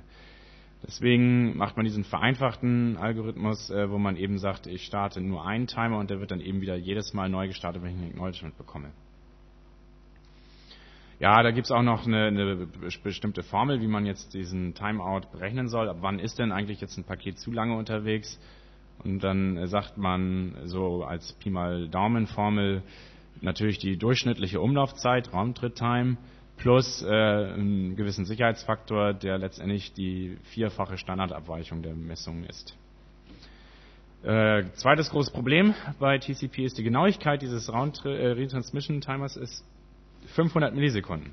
Und wenn wir überlegen, dass wir vielleicht so normalerweise eine Umlaufzeit von vielleicht 100 Millisekunden haben, dann ist der Timer einfach furchtbar ungenau. Und das wird eben noch schlimmer, dadurch, dass ich eben diesen vereinfachten Timer habe, den einfachen, den ich immer nur dann starte, wenn ich, äh, also wenn ich ein Acknowledgement wiederbekomme. Hier sehen wir ein Bild, der linke rote Pfeil, der zeigt äh, den Zeitpunkt, wenn ich eigentlich theoretisch den Timer hätte starten müssen, nämlich dann, wenn ich das Paket losschicke, das zweite Paket. Ähm, ich starte ihn aber erst dann, wenn ich das Acknowledgement vom ersten Paket bekomme. Das zweite Paket geht verloren. Ich muss also äh, vom ersten Acknowledgement bis zum Ablauf des Retransmission Timers warten. Und äh, das kann locker eine Sekunde sein, nachdem ich das äh, Paket losgeschickt habe. Und ähm, wenn das häufiger vorkommt, dann ist das also eine ganz, ganz schlechte Datenrate, die dabei rauskommt. Also hat man sich überlegt, wie kann man es besser machen und hat den sogenannten äh, Fast Retransmit Algorithmus äh, entwickelt. Da hat man gesagt, wenn der Empfänger jetzt äh, weitere Segmente bekommt, äh, also ich schicke meinetwegen fünf Pakete los, der Empfänger kriegt aber nur eins, drei, vier und fünf, dann wiederholt er die Bestätigung für das zuletzt korrekt in der richtigen Reihenfolge ohne Lücke empfangene Paket. Also das erste Paket wird ganz normal bestätigt, dann kommt das zweite nicht an, dann kommt das dritte an, dann wird das erste wieder bestätigt, dann kommt das vierte an, wird das erste wieder bestätigt, kommt das fünfte an, wird das erste wieder bestätigt. Dann habe ich also drei doppelte Bestätigungen, sogenannte Duplicate Acknowledgements. Und dann sagt der Sender, oh, da muss offensichtlich die zwei verloren gegangen sein. Und das geht viel, viel schneller, als auf einen Timer zu warten und nennt sich Fast Retransmit. Wir sehen schon zwei grundlegende Probleme. Erstens, das Ganze funktioniert nur dann, wenn ich nur ein Paket verliere. Wenn ich mehrere Pakete verliere, dann weiß er zwar, dass, der zweite, dass das zweite Segment verloren gegangen ist, aber wenn ich jetzt zum Beispiel auch noch das sechste verloren hätte, weiß er das erst dann, wenn er wieder anfängt zu senden. Das heißt, irgendwann kommt dann doch wieder ein Timeout. Zweite Problem ist mein, mein Überlastungsfenster, dieses Congestion Window, das muss natürlich schon die Größe 5 haben, damit ich überhaupt äh, drei doppelte Bestätigungen bekommen kann, wenn ein Paket verloren geht. Und das ist auch nicht immer der Fall. Also gerade wenn sowieso das Netz schon so überlastet ist, dass ich mit kleinen Fenstern arbeite, dann funktioniert dieser Algorithmus auch nicht mehr. Und dann ist die Verbindung wieder ganz schlecht. Ja, ähm, zu Fast Retransmit gehört ein weiterer Algorithmus, der heißt Fast Recovery. Der wurde in TCP Rhino im Jahre 1997 eingeführt. Ähm, da einmal diese Bestätigungen, die ich eben gesagt hatte, die zeigen ihm an, dass es einen Paketverlust gegeben hat. Aber was jetzt eben der große Unterschied ist, ist, dass ähm, er sagt, ja, für diese drei äh, Pakete, doppelten Pakete, die ich bekommen habe, habe ich mein Überlastungsfenster ja nicht verändert. Ähm, aber eigentlich haben diese Pakete ja schon das Netzwerk verlassen. Also sage ich beim Fast Recovery, ein, mache ich eine künstliche Aufblähung des Fensters und sage, für jedes Paket, für jedes doppelte Acknowledgement muss ja ein Paket das Netz verlassen haben, sonst wäre kein weiteres Acknowledgement generiert worden. Also kann ich wieder ein Paket einspeisen in das Netz. Und ähm, dadurch kann ich ganz, ganz schnell äh, die verloren gegangenen Pakete nachreichen. Ja, ist alles bestätigt worden, wird das Fenster natürlich, diese künstliche Aufblähung wird dann wieder zurückgenommen. Gut, ähm, nochmal zu den Varianten. TCP Tahoe äh, 89, das ist die etwas neuere Variante. Ich hatte eben schon Tahoe Old ähm, genannt. Die hatte noch kein Fast Retransmit. Die äh, TCP Tahoe hat eben Slow Start Algorithmus, Congestion Avoidance und den Fast Retransmit. Ist in den RFCs definiert. 97 kam Rhino dazu äh, mit dem Fast Recovery und einem etwas intelligenteren Fast Retransmit. Äh, da wird eben noch geraten, welche Segmente wahrscheinlich nicht angekommen sind. Ähm, das äh, wird weiter verbessert in New Rhino 1999. Da gibt es eben diese sogenannten Partial Acknowledgements. Ähm, letztendlich letztendlich äh, hatte, hat man schon mehr, mehr Informationen, wenn man diese doppelten Bestätigungen bekommt, äh, als man ursprünglich sozusagen gedacht hat. Und man schickt auf gut Glück äh, das, was man rät, was fehlt nach. Äh, funktioniert nicht immer, aber wird eigentlich jetzt standardmäßig verwendet. Also Linux verwendet New Rhino. Äh, Windows ist immer ein bisschen hinterher, aber letztendlich ist New Rhino äh, jetzt das gängigste, was es gibt. Dann gibt es noch die sogenannte äh, Selective Acknowledgement Option, 1996 dazu geführt. Übrigens ein, ein Punkt, wo man dieses Options-Feld benutzt. Ja. Ähm, ist der Vortrag der nächste nicht erst um vier? Ja. Ja, ja, wir haben später angefangen. Ja, okay. Ja, gut. Ähm, Gut, da wird, da wird ganz explizit gesagt, was fehlte, was angekommen ist, äh, was, also ganz explizit gesagt, welche Segmente sind angekommen, wirklich nach dem Motto 1, 3, 4 und 5 sind angekommen, dann weiß der Sender natürlich ganz klar, was gefehlt, äh, was gefehlt hat und äh, das muss, eben müssen beide Seiten unterstützen, das, große Problem. Also ein TCP Neurino Sender kann auch wunderbar mit einem TCP Tahoe Empfänger zusammenarbeiten, funktioniert wunderbar. Bei äh, TCP SAC äh, funktioniert das nicht, da müssen beide, das beide unterstützen. Ist aber ein bisschen gemein, weil viele lügen äh, drüber. Die sagen, wir verstehen äh, Selective Acknowledgements, tun sie aber doch nicht. Und ähm, eigentlich ein ganz interessanter Fall, dass da so viele lügen. Äh, weiß gar nicht, was der Grund dafür ist, aber muss man ein bisschen mit Vorsicht genießen, wenn irgendwie ein Empfänger oder ein Server sagt, er würde das verstehen. Dann gibt es noch eine TCP-Variante, die ein bisschen aus dem Rahmen fällt, aber auch recht wichtig ist. Das ist TCP Vegas. Ist leider nicht in irgendeinem EFC beschrieben. Ähm, der funktioniert ganz anders. Der hat nicht mehr diesen Additive Increase, Multiplicative Decrease Algorithmus, sondern äh, regelt die Rate anhand der Roundtrip Time. Wir haben ja gesagt, wenn die Roundtrip Time wird größer, wenn die Warteschlangen so langsam voll werden. Äh, also kann ich ja die Roundtrip Time dafür auch nehmen, um zum, sozusagen zu messen, wie voll diese Warteschlangen jetzt wahrscheinlich sind. Und wenn die Warteschlangen eher voll sind, dann ist das Netz eher überlastet. Also muss ich die Rate reduzieren. Ähm, da kann ich wunderbar effizient arbeiten, kann ich wunderbar die äh, Kapazität voll ausnutzen, habe keinen Sägezahn mehr. Das Problem ist, dass ich äh, dazu wissen muss, wie denn die minimale Roundtrip-Time ist, also ohne gefüllte Warteschlangen. Das äh, weiß ich natürlich nicht immer. Ähm, in der Praxis wird das so gemacht, dass immer die kleinste gemessene Roundtrip-Time als die, als die theoretisch kleinste angenommen wird. Äh, hat das Problem, wenn man zum Beispiel die Route verändert. Also wenn ich jetzt zum Beispiel erst eine schnelle Verbindung hatte und dann sagt ein Router, oh jetzt schicke ich das alles mal woanders längs, was viel länger dauert, dann ist meine minimale Roundtrip-Time völlig falsch und dann versagt dieser Algorithmus. Das zweite Problem ist, wenn ich das mische, ich habe ja eben gezeigt, dass die alten TCP-Varianten Tau und Rhino versuchen, die Warteschlangen voll zu machen, bis es einen Paketverlust gibt.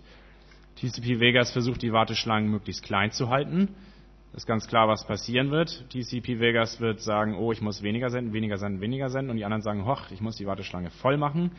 Und äh, wer TCP Vegas äh, verwendet, hat zwar den besten Algorithmus, aber wird schlichtweg verlieren gegenüber den anderen, die es nicht tun. Hier mal so ein, ein kleiner Durchsatz, äh, kleines Durchsatzbeispiel. Hier sieht man bei einzelnen Paketverlusten TCP Tahoe, äh, was noch nicht diese intelligenten Recovery-Algorithmen hat, kommt äh, mit allem mehr oder weniger gut oder schlecht zurecht, 45% Durchsatz, der Rest ist sozusagen verloren. Äh, TCP Rhino ist da schon besser, 55%, aber wenn es mehrfache Verluste gab, zwei Segmente, drei Segmente oder vier Segmente, sieht man, wie radikal schlecht TCP Rhino auf einmal wird. Ähm, New Rhino verbessert das wieder durch diese, dieses Raten, was verloren gegangen ist mit diesem Partial X. Ähm, und TCP-SAC hat natürlich dadurch, dass explizit gesagt wurde, was fehlt, die besten Werte, ist ganz klar. Aber was man hier aus diesem Bild schön sehen kann, ist, dass TCP Rhino eigentlich das schlechteste ist. Und äh, ja, Windows. Ähm, kleine, kleines Beispiel, was was verwendet. Äh, Tahoe, eBay.com. Ich weiß nicht, ob das noch so ist. Das ist aus dem letzten Jahr diese Folie. Ähm, also irgendwie die, das, die älteste Variante von TCP, die es überhaupt gibt, wird bei eBay verwendet äh, und bei Microsoft mit der äh, SAC-Option. Ähm, ja, und New Rhino ist äh, bei Netscape und sogar mit SAC-Option bei AOL. Und hier sieht man eben, dass 41 Prozent der Server im Internet äh, diese SAC-Option zumindest vorgeben zu kennen. Das ist also die, diese Werte, ob mit SAC oder ohne, ist äh, ich sage, dass ich es kann. Es ist nicht getestet, ob sie es wirklich kennen. Gut, äh, kleine neue Entwicklung. Die letzten drei Jahre oder ja, geht schon ein bisschen weiter hinaus, aber in den letzten drei Jahren wurde es wirklich auch relevant für den Anwender, ist, dass man davon weg will, dass man Paketverluste braucht, um irgendwie zu erkennen, ob ein Netz nun voll ist oder nicht. Und da hat man jetzt gesagt, gut, also mit TCP Vegas ging es nicht, also machen wir jetzt folgendes. Wir benutzen ein Bit im Paket und das Bit wird gesetzt, wenn sozusagen die Warteschlange fast voll ist. Hm, das macht man zum Beispiel im Zusammenhang mit den äh, Random Early Detection Gateways und der Explicit Congestion Notification. Wer Kernel 2.4 bei Linux mal eingesetzt hatte, wird darüber gestolpert sein. Explicit Congestion Notification ist genau das, dass der Sender sagt, Du brauchst meine Pakete nicht wegzuwerfen, um mir zu sagen, dass ich meine Rate reduzieren soll, setze einfach das Bit. Und der Router, der muss dann eben natürlich entsprechend eine Warteschlange haben, die das machen kann. Und das ist eben dieses Red. Da habe ich zwei Thresholds, äh, zwei Schwellen. Die eine ist der Minimum Threshold, die andere ist die Maximum Threshold. Wenn die Warteschlange, der mittlere Füllstand unter dem Minimum Threshold ist, dann lasse ich die Pakete ganz normal durch, wie bei FIFO. Wenn ich über dem maximalen Threshold bin, dann schmeiße ich sie alle weg oder ich markiere sie alle und da in dazwischen, dazwischen mache ich das irgendwie statistisch. Das heißt, ich habe eine gewisse Wahrscheinlichkeit, die steigt an und je voller die Warteschlange ist, umso größer ist die Wahrscheinlichkeit, dass ich das Paket markiere. Und auf die Art und Weise kann ich schon Pakete markieren, weit bevor die Warteschlange übergelaufen ist.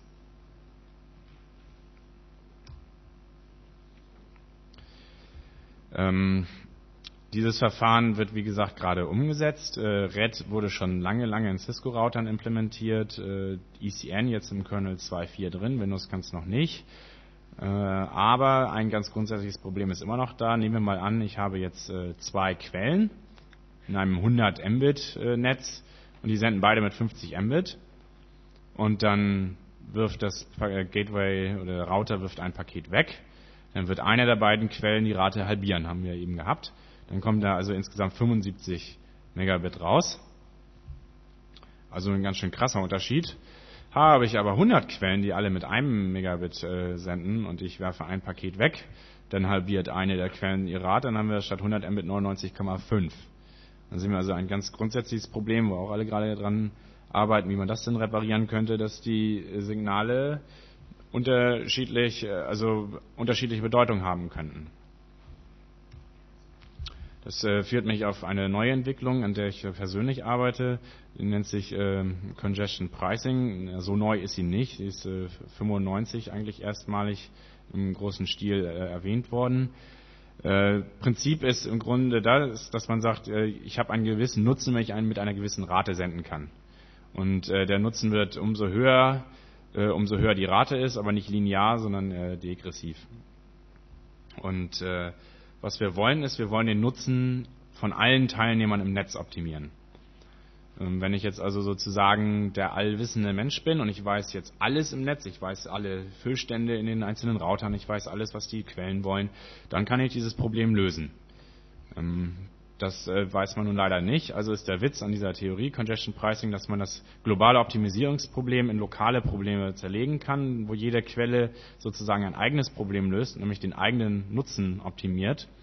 Allerdings dazu sogenannte äh, Congestion Prices bekommt. Äh, das sind Kosten, ähm, die umso höher sind, je höher eben das Netz belastet ist. Und die Preise haben eben nicht direkt was zu tun mit irgendwie Warteschlangenverlusten oder sowas, können also entsprechend entkoppelt davon steigen, haben wir das vorher genannte Problem mitgelöst. Und äh, es gibt eben verschiedene Ansätze. Zum Beispiel wird überlegt, dass man diese Preise tatsächlich tatsächlich zur Tarifierung benutzt. Also Flatrate äh, finden wir Anwender alle ganz schön, aber finden die Provider gar nicht schön, weil Flatrate leider äh, überhaupt nicht verhindern kann, dass Leute das Netz zu äh, sozusagen oder senden, wie sie lustig sind. Und äh, die einzige Art und Weise, wie man das wirklich steuert, äh, denken zumindest viele, ist Geld. Und äh, ich meine, es hindert ja auch keinen. Ich meine, Linux liegt komplett im Source Code vor, sich seinen eigenen TCP-Stack zu schreiben, der einfach sich mal nicht dran hält, die Rate zu reduzieren. Und äh, auch heute haben wir schon das Problem, dass das jeder mal machen könnte. Und es gibt sogar kommerzielle Programme, die das tun. Ähm, und äh, einfach letztendlich auf Kosten anderer äh, das machen. Und äh, deswegen wollen die Provider davon natürlich weg. Und da ist eben die Überlegung, dass man diese Theorie des Congestion Pricings tatsächlich zur Tarifierung benutzt.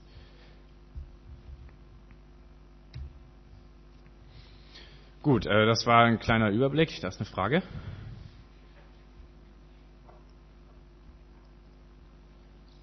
Ich bin ein bisschen irritiert wegen dieses, also wo soll denn das Geld dann hinfließen? Also wer kassiert das denn ab? Die Provider selber dann? Ja, das und, ist. Äh, das also ist, ich meine, was würden die denn dafür gewährleisten wollen, dass sie das abkassieren? Ja, das ist tatsächlich, das ist tatsächlich eigentlich der, der Hauptkritikpunkt. Äh, letztendlich sind ja diese Preise besonders hoch, wenn das Netz besonders belastet ist. Und dann sagt man sich natürlich als Anwender, hm, jetzt ist das Netz voll belastet, also schlechter Service und jetzt soll ich noch besonders viel dafür bezahlen. Ja, also äh, im Grunde äh, ist das ganz klar ein Punkt, wo man sagt, ja, funktioniert so nicht. Ähm, also ich habe auch gesagt, ich würde die Preise mehr virtuell ansehen, dass also nicht tatsächlich äh, bezahlt wird, also jetzt mit echtem Geld, sondern dass einfach der Algorithmus diese Preise dazu benutzt, eine Rate einzustellen. Aber letztendlich das jetzt keine monetären Konsequenzen hat. Aber man könnte sich beispielsweise vorstellen, dass man ein bestimmtes Budget hat. Also dass man zum Beispiel sagt, äh, man bekommt jetzt mit seiner Flatrate, die man hat, bekommt man ein bestimmtes Budget an äh, diesen Congestion Prices. Und wenn ich äh, dieses Budget verbraucht habe, dann ist einfach für den Rest des Monats erstmal vorbei. Oder ich darf nachzahlen, irgendwie eine gewisse Strafsumme oder sowas. Also sowas könnte man sich überlegen noch, dass man sowas macht. Gibt es denn Überlegungen dahingehend, also äh, Provider sind ja letztlich äh, nur die Anbieter für Endverbraucherinnen halt, was Netz angeht halt. Aber das Netz selber ist ja ausgebaut worden aus Steuergeldern halt. Also es ist ja nichts, was die vorfinanziert haben oder was irgendwelche Unternehmen oder Privatpersonen vorfinanziert haben, sondern das ist ja über Wissenschaftsbetrieb und ähnliches auf und ausgebaut worden halt. Und da müsste man dann ja sagen, okay, die Gelder fließen zurück halt und werden dann entweder direkt für den weiteren Ausbau verwendet oder aber für andere soziale Maßnahmen? Naja, also ist es ja so, dass es ja ganz so korrekt nicht ist. Natürlich sind die Protokolle und, äh, und die Technik äh, im, im wissenschaftlichen Betrieb entwickelt worden, aber letztendlich hat natürlich die Telekom die Router selber bezahlt und auch die Kabel äh, im Boden oder jeder andere Provider. Ja, das war ja mal ein Bundes, also es war eine Bundesbehörde, die auch über ja, ja, ja also Telekom ist vielleicht ein schlechtes Beispiel, aber nehme ich jetzt, was nehmen wir mal, nehmen wir ähm, D2 oder so. Nehmen wir zum Beispiel einfach mal ähm, WorldCom, den ein nicht unerheblicher Inter äh, Anteil des Internet-Backbones gehört, den haben die schlicht und ergreifend mit eigenem Geld bezahlt. Und das ist mit den anderen. Äh, Aber den sitzt in den USA, oder nicht? Ja. Ja, alles klar. Das ist mit den Ja, ähm, also mit den anderen ich, Carriers, ich will das auch nicht ähnlich. so genau ausdifferenzieren. Es ist schon so, also anscheinend gibt es doch Unternehmen, die einen Teil bezahlt haben, aber es ist trotzdem so, dass ein Großteil dessen auch aus Steuergeldern ganz einfach finanziert worden ist. Also, also Steuergelder Und das ist anscheinend länderspezifisch dann nochmal direkt abhängig, wer was finanziert hat da. Ja. Also ich meine, wäre vielleicht nochmal spannend, das auch mal genau zu machen, mhm. wer was da eigentlich wie mit aufgebaut hat. Aber das war nicht das eigentliche Thema in Bezug auf, wie gehen die sozialen Kosten denn, wieder zurück? Halt. Oder ist da überhaupt eine Diskussion an überlegt? Ja, also, also grundsätzlich, wie gesagt, äh, äh, natürlich äh, wäre dann eigentlich schon das so, dass der Provider das Geld, was er dadurch einnimmt, dazu verwenden müsste, äh, die, das zu beseitigen. Aber das machen die im Grunde eh. Ähm, also man hat dieses Problem der Überlastabwehr noch nicht so richtig im Griff. Selbst mit äh, dem elastischen Verkehr wie TCP ist es so, dass immer noch vorkommen kann, dass das Netz überlastet ist. Das kennt ja jeder, wenn er, wenn er irgendwie versucht, eine Webseite aufzurufen und dann steht der Connection stalled oder sowas.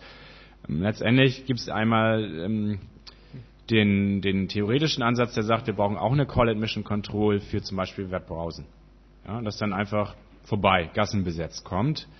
Beim HTTP ist das in der Praxis sehr schwierig zu machen, weil äh, so, sowas kann ja eigentlich auf der Netzseite nur auf TCP-Ebene passieren.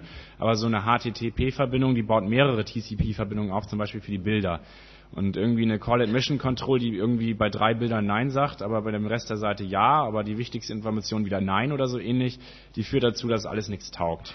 Letztendlich ähm, brauchen wir etwas, was eben die gesamte Browsing-Session Ja oder Nein sagt.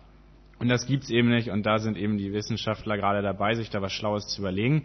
Aber das grundsätzliche Problem bekommt man eigentlich wirklich nur mit einer Call äh, Admission Control in den Griff, wie es zum Beispiel bei ATM gemacht wird oder sowas. Da gibt's dann bestimmte Abkommen dann darf man eben nicht mehr äh, machen und wenn man mehr sendet, dann ist vorbei. Oder man muss reservieren vorher oder solche Dinge.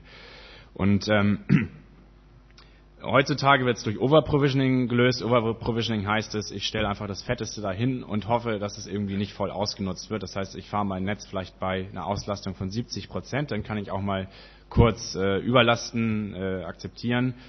Ähm, und äh, man sagt irgendwie da das Netz sowieso irgendwie komplett, ich weiß nicht, was alle zwölf Monate oder was ist das? Wie häufig tauschen die ihr Netzkomponenten aus? Ungefähr, ja. Irgendwie sowas, alle zwölf Monate die Netzkomponenten ausgetauscht werden, bedeutet das Overprovisioning letztendlich eines, das Vorziehen einer Investition um drei Monate oder so. Da muss man mal Provider fragen, die, die wissen das genau, was das finanziell bedeutet und deswegen ist es einfach das Einfachste, was man macht. Man überdimensioniert sein Netz einfach. Und wenn es dann irgendwie zu klein geworden ist, dann holt man wieder, wechselt man wieder alles aus. Das ist nicht wissenschaftlich, aber es äh, ist im Moment die einzige Art und Weise, wie es funktioniert und warum das Internet überhaupt noch geht. Gut. Wir müssen ein bisschen auf die Zeit achten, weil wir haben ähm, noch mit maximal 15 Minuten und ähm, noch elf Folien. Mhm. Eine pro Minute. genau. Das vier Fragen. Ja, also ähm, wie eben auch schon mal angefragt war, es gibt ein System namens DNS, Domain Name System, das dafür sorgt, dass man sich nicht kryptische, vier Bytes ähm, lange Nummern merken muss, was Menschen erfahrungsgemäß eher schwer fällt, sondern eine diese weltweit verteilte Datenbank anfragen können, die eben einfacher merkbare Adressen wie www.ccc.de ähm, oder so statt eben irgendeine Nummer. Ja, dass man die verwenden kann. Weltweit verteilte Datenbank funktioniert erstaunlich gut. Ähm,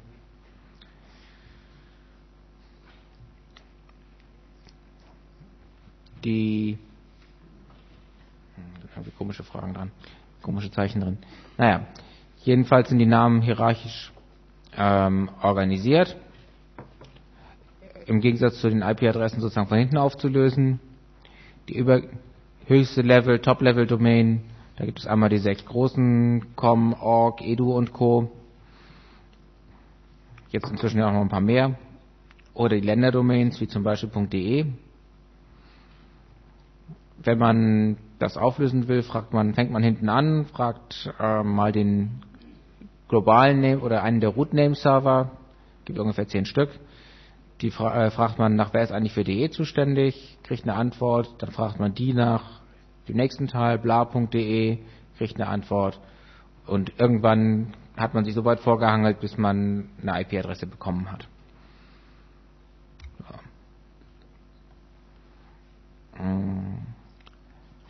Die meisten Anwendungen des Internets, wir sind ja inzwischen auf Layer 5 angekommen, basieren auf TCP.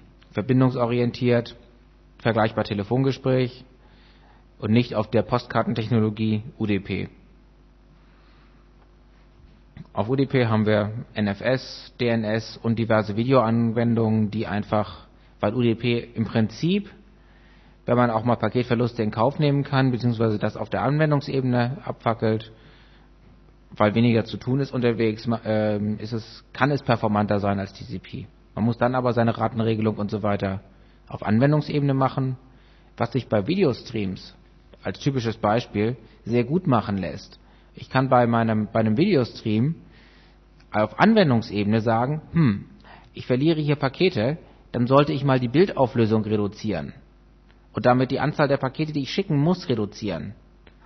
Das kann ich nur auf Anwendungsebene sinnvoll tun. TCP könnte das nicht wissen, ob ähm, ich jetzt sagen kann, ich reduziere die Bildauflösung, sprich ich setze einen anderen Codec ein, ähm, als Beispiel, nicht? oder ich sende weniger Frames pro Sekunde. Da kriegt das Netzwerk auf Layer 3, weiß ich nicht, ob das ähm, in jedem Datenpaket da wirklich ein Videoframe drin ist oder was auch immer. UDP, klar, NFS als Netzwerk verteiltes System, ähnlich wie Microsofts SMB-Protokoll.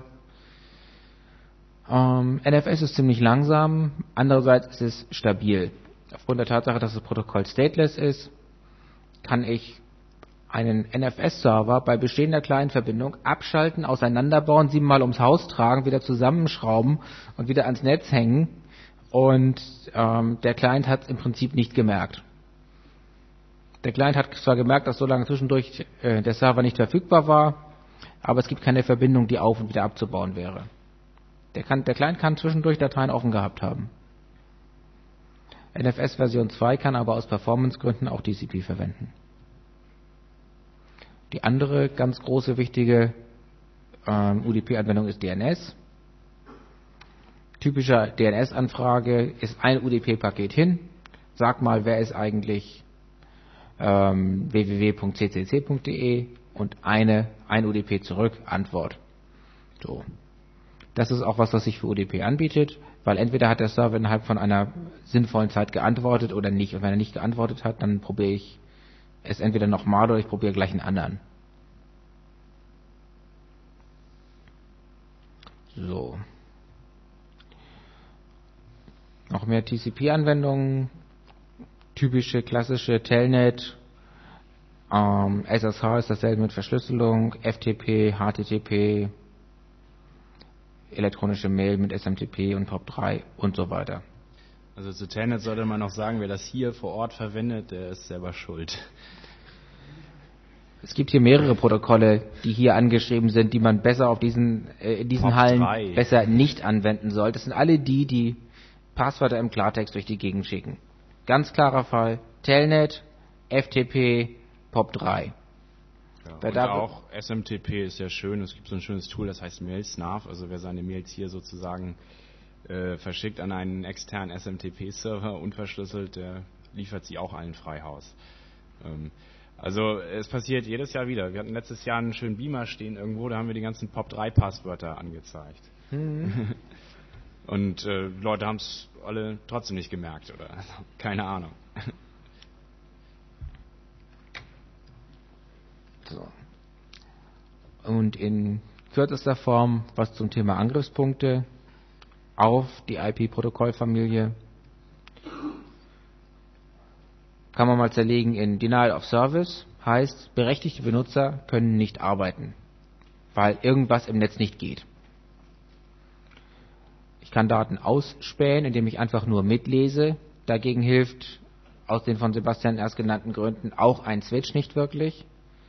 Wenn ich einen Switch mit ARP-Spoofing so voll mache, dass er als Hub arbeitet, ähm, dann kriegt das ein Administrator eventuell mit, weil sich diverse erzürnte User bei ihm melden und sagen, das Netz ist aber wieder schweinelangsam, du mach mal was.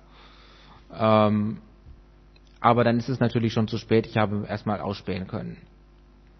Verfälschen von Daten unterwegs. Ich nehme ein Datenpaket, ändere es und schicke es weiter. Fieser Fall wäre irgendwelche Electronic Banking Transaktionen. Andererseits, wenn ich eine Mail vom Chef an einen Mitarbeiter ähm, von einer Belobigung in eine Kündigung ändere zum Beispiel, dann sind wahrscheinlich die Betroffenen auch nicht wirklich erfreut. Ich kann aktiv in Netzknoten eingreifen. Ähm, entweder sind das Rechner oder ich kann auch einfach Router so verwirren, dass sie interessante Sachen machen. Ähm, obwohl die Router in der Regel einigermaßen brauchbar administriert sind, bei Servern ist das öfters nicht der Fall. Ja, IP-Spoofing heißt, ich schicke Datenpakete durch die Gegend mit einer Adresse, Absenderadresse, die nicht meine wirkliche ist. Führt natürlich dazu, dass ich keine Antworten kriegen kann, aber unter Umständen bin ich gar nicht daran interessiert, Antworten zu kriegen. Zum Beispiel bei E-Mail, das SMTP-Protokoll ist hinreichend trivial, dass ich die Antworten nicht wirklich brauche. Ich kann also eine E-Mail wunderbar schicken, die dann von president.weißhaus.gov kommt und meinen Chef zu, ähm, ähm, zu ehrfürchtigem Staunen zu ähm, ermuntern. Oder solche Geschichten. Oder eben, ich kann äh, 100.000 Leuten schicken äh, Mail mit Werbung für Penisverlängerung oder was weiß ich. Ähm, naja. Dann ähm, Denial of Service Möglichkeiten sind zum Beispiel die ganz simple, brutale und zu sagen, ich schicke einfach so viele Pakete, dass ich ähm, die Anbindung des Rechners am anderen Ende einfach platt mache. Einfach überfluten. Wenn ich selber eine schnelle Anbindung habe und das Opfer eine langsame, dann geht das. Ähm, ich kann so fiese Dinger machen wie Ping mit zu großen Paketen. Das gab da einige TCP-IP-Implementationen, speziell aus Redmond, die dagegen sehr anfällig waren. Ähm, auch mit ähm, illegalen Fragmenten, so also überlappende Fragmente oder so, wurde auch sehr beliebt. Da reagierten diese Geräte dann gelegentlich so mit interessanten blauen Bildschirmen. Ähm, oder was Sebastian schon angesprochen hat, Synflooding. Ich schicke ähm, ich fange einfach an, ganz viele Verbindungen aufzubauen. Der Rechner am anderen Ende muss sich das merken und ähm, hat irgendwann keine Ressourcen mehr, um sich das, den ganzen Kram zu merken. Das beruht meistens auf Fehlern in der IP-Implementierung des angegriffenen Systems. Nicht alle Denial of Services äh, Angriffe beruhen darauf, aber doch viele. Eine andere Geschichte ist ein Distributed Denial of Service. Das ist einfach die Variante äh, Floodping, die ich aber nicht von einem Rechner aus mache, sondern von gar vielen Rechnern, die ich vorher äh, durch geeignete Maßnahmen unter meine Gewalt gebracht habe.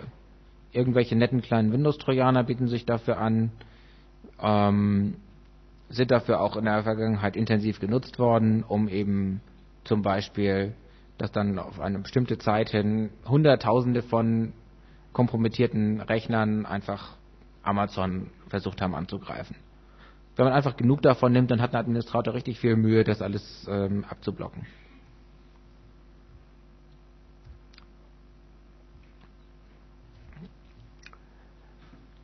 Ich kann im LAN speziell oder sehr gern auch im Wireless LAN weil wir ja, wie wir ja alle wissen, ist die WEP-Verschlüsselung nicht wirklich eine Verschlüsselung, sondern bestenfalls ein ähm, schwacher Versuch einer Verschleierung. Ähm, bei Ethernet ist das natürlich einfach, weil ich an das Kabel in der Regel irgendwie rankomme. Da gibt es sehr schöne Werkzeuge. Ethereal ist eigentlich da so mein Liebling, weil das eine sehr schöne Paketdekodierung hat sehr hilfreich, wenn man irgendwelche Probleme in Netzen hat und rauskriegen will, woran liegt das eigentlich. Ähm, Etherfind und TCP-Dump sind ähnliche Werkzeuge. TCP-Dump ist zum Beispiel für Linux verfügbar. Etherfind ist bei Sun standardmäßig mit drauf. Also TCP-Dump äh, zeigt äh, einem praktisch alles an, was auf dem Netz abgeht. Für die Leute, die etwas fauler sind, gibt es DSNIF. DSNIF zeigt nur die Passwörter und äh, Usernames und äh, dazu gehören eben auch die Programme wie das Mail-Snarf, was ich genannt habe. Dann gibt es auch so Programme, die machen die Browsing-Session mit, also URL-Snarf beispielsweise. Da kann ich jetzt mir sozusagen alle URLs, die gerade gesurft werden, angucken, anzeigen lassen. Vielleicht auch mal ein interessantes Beamer-Projekt. Einfach mal die ganzen URLs, die hier gesurft werden. Ähm, also so einfach als Hitliste. Ja, ja. So oh ja, einfach nur alle und dann statistisch so anzeigen, was gerade was jemand gerade eingetippt hat. URL sowieso ist ja auch schön, weil in URLs stehen ja auch häufig Passwörter drin. Es gibt ja mal diese beliebten Forms, wo man dann die Daten sozusagen über die URL verschickt. Mhm. Ähm, also, äh, wie gesagt, dieses DSNIF-Paket ist ein, ein wunderbares Paket, was das Leben sehr, sehr einfach macht. Ja, ich kann in wahren Zwischenstationen mitlesen. Wie gesagt, sehr beliebt WLAN, Wireless LAN, klar, hatten wir schon. Ähm, mit mit AirSnort und so weiter ist auch das Herausbekommen der, äh, dieser rudimentären Verschlüsselung kein wirkliches Problem. Maximal ist es, ähm, das einzige Problem ist, dass man vielleicht da mal ein paar Stunden vor der Tür sitzen muss ähm, im schlecht geheizten Auto, aber das ist auch wirklich das größte Problem an der Sache. Ähm, solche Aktionen bieten sich also eher im Sommer an. Ähm, naja, dann ähm, in wahren Zwischenstationen mitlesen, zum Beispiel beim Internetprovider, bietet sich für einerseits ähm, weiß ich nicht, was man äh, der Administrator bei meinem Provider so gerne ähm, forscht. Vielleicht ist das ja auch jemand, der Jugendforscht ähm, schön findet. Ähm, bietet sich natürlich insbesondere für die Staatsmacht an, die das ganz legal darf. Ähm, ähm, seit Otto Katalog 2 sogar noch sehr erweitert. Sehr viel äh, mehr oder weniger interessante Informationen finden sich gerade auch in Logdateien, zum Beispiel Logdateien von irgendwelchen www-Proxys. Die schreiben oft mit, was da angesurft wurde. Ähm, ist auch vielleicht mal für die eine oder andere kleine Erpressung gut.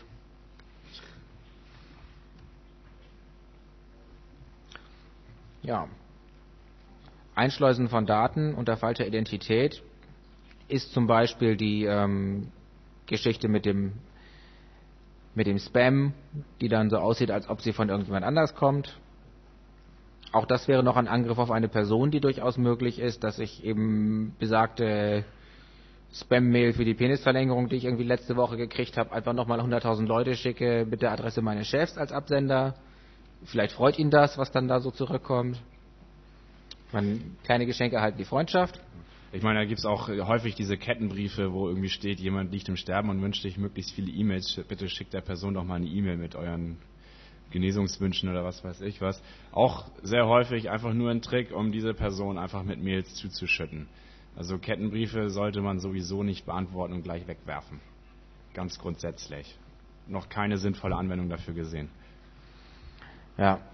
Dann ähm, Hijacking, also Übernahme bestehender Verbindungen, zum Beispiel Juggernaut kann eine Telnet-Verbindung übernehmen. Ähm, sehr gern genommen, weil oft schlecht gesichert sind auch applikationsspezifische Client-Server-Systeme. Also der, die Verbindung zwischen einem Applikationsprogramm und seinem Datenbankserver ist ein vielfach wenig erforschtes Angriffsziel. Ähm, so eine Oracle-Datenbank da, den Listener zum Beispiel, da sind oftmals, gibt es dann weniger sichere Systemadministrator-Passworte Microsoft SQL Server zum Beispiel, Systemadministrator SA und dann gibt es sehr, sehr viele Implementationen, die nicht, in Worten gar nicht gesichert werden.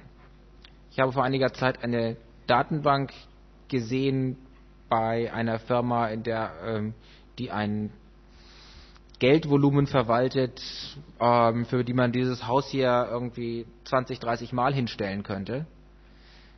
Es geht da schon um ähm, Milliarden DM-Beträge, wo kein Systemadministrator-Passwort auf der Datenbank gesetzt war. Ähm, so etwas kommt vor, leider. Ähm, weil da eben bei den Verwaltern auch zum Teil kein, ähm, kein Gefahrenbewusstsein ist. Und wenn das natürlich schon mal nicht mal ein Passwort gibt, dann ist der Angriff natürlich geradezu trivial. IP-Spoofing hatten wir schon, weil keine Antwort möglich ist. Typische Anwendung Spam. Letzte Folie. Literaturhinweise. Der Tannenbaum, Computernetzwerke, nicht nur IP, eigentlich ganz gut zu lesen. Wenn man sich für IP sehr interessiert, der Stevens, TCP IP Illustrated. Wirklich das beste Buch auf diesem Gebiet. Äh, leider, leider, leider ist der Mensch tot. Das Buch ist leider dadurch etwas veraltet aber äh, die älteren TCP-Versionen sind halt vollständig noch enthalten. Äh, die Herangehensweise in diesem Buch ist ähm, hauptsächlich mit TCP-Dump. Äh, ich schaue mir mal an, was im Ethernet passiert und erkläre daran das Protokoll. Eine sehr interessante Herangehensweise. Äh, das ist in Band 1, dann gibt es noch Volume 2. Volume 2 wird das Ganze nochmal am Source Code erklärt. Äh, wunderbar, wenn man selber mal einen TCP-Stack programmieren muss kann man da nämlich genau solche Dinge sehen, wie was ich mit dem Timer erwähnt hatte. Die meisten Lehrbücher schreiben das schlichtweg falsch mit dem Timer. Äh, wenn man bei Richard Stevens nachliest, dann sieht man das richtig. Denn der hat sich wirklich mit dem Source Code einer reellen BSD-Implementierung beschäftigt. Dann den Koma, Internet Working with TCP IP. Der ist von der Tiefe vergleichbar mit dem Stevens, aber geht eher vom theoretischen Ansatz her während der Stevens eben, ja, gerade wenn ich im LAN mir LAN Traces angucken will und damit umgehen möchte, um Fehler zu finden, ist der Stevens eigentlich das Buch, was ich gelesen haben sollte. Weil der genau das erklärt. Ja. Ja, natürlich die zahlreichen RFCs. Wir haben am Anfang schon erwähnt unter www.rfceditor.org. Wir nehmen gerne noch Fragen entgegen. Ein bisschen, eine Minute haben wir noch.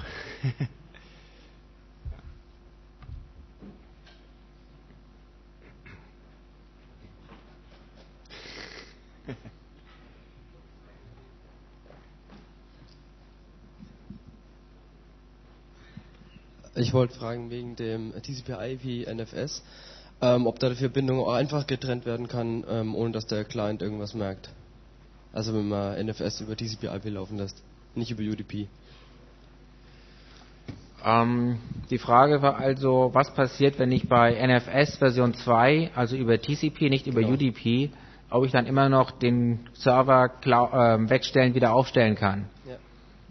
Gute Frage ich weiß die Antwort nicht sicher. Vom NFS-Protokoll her, weil stateless ist, müsste es eigentlich gehen, aber die TCP-Verbindung ist weg.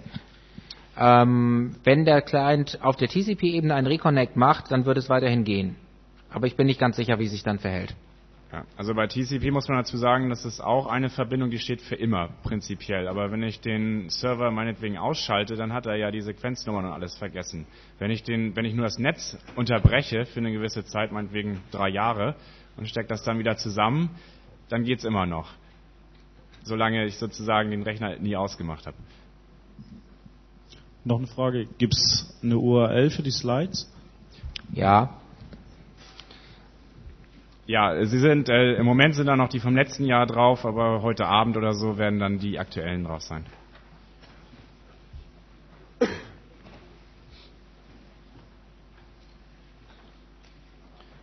Gut, ähm, dann danke ich. Hier geht es gleich weiter.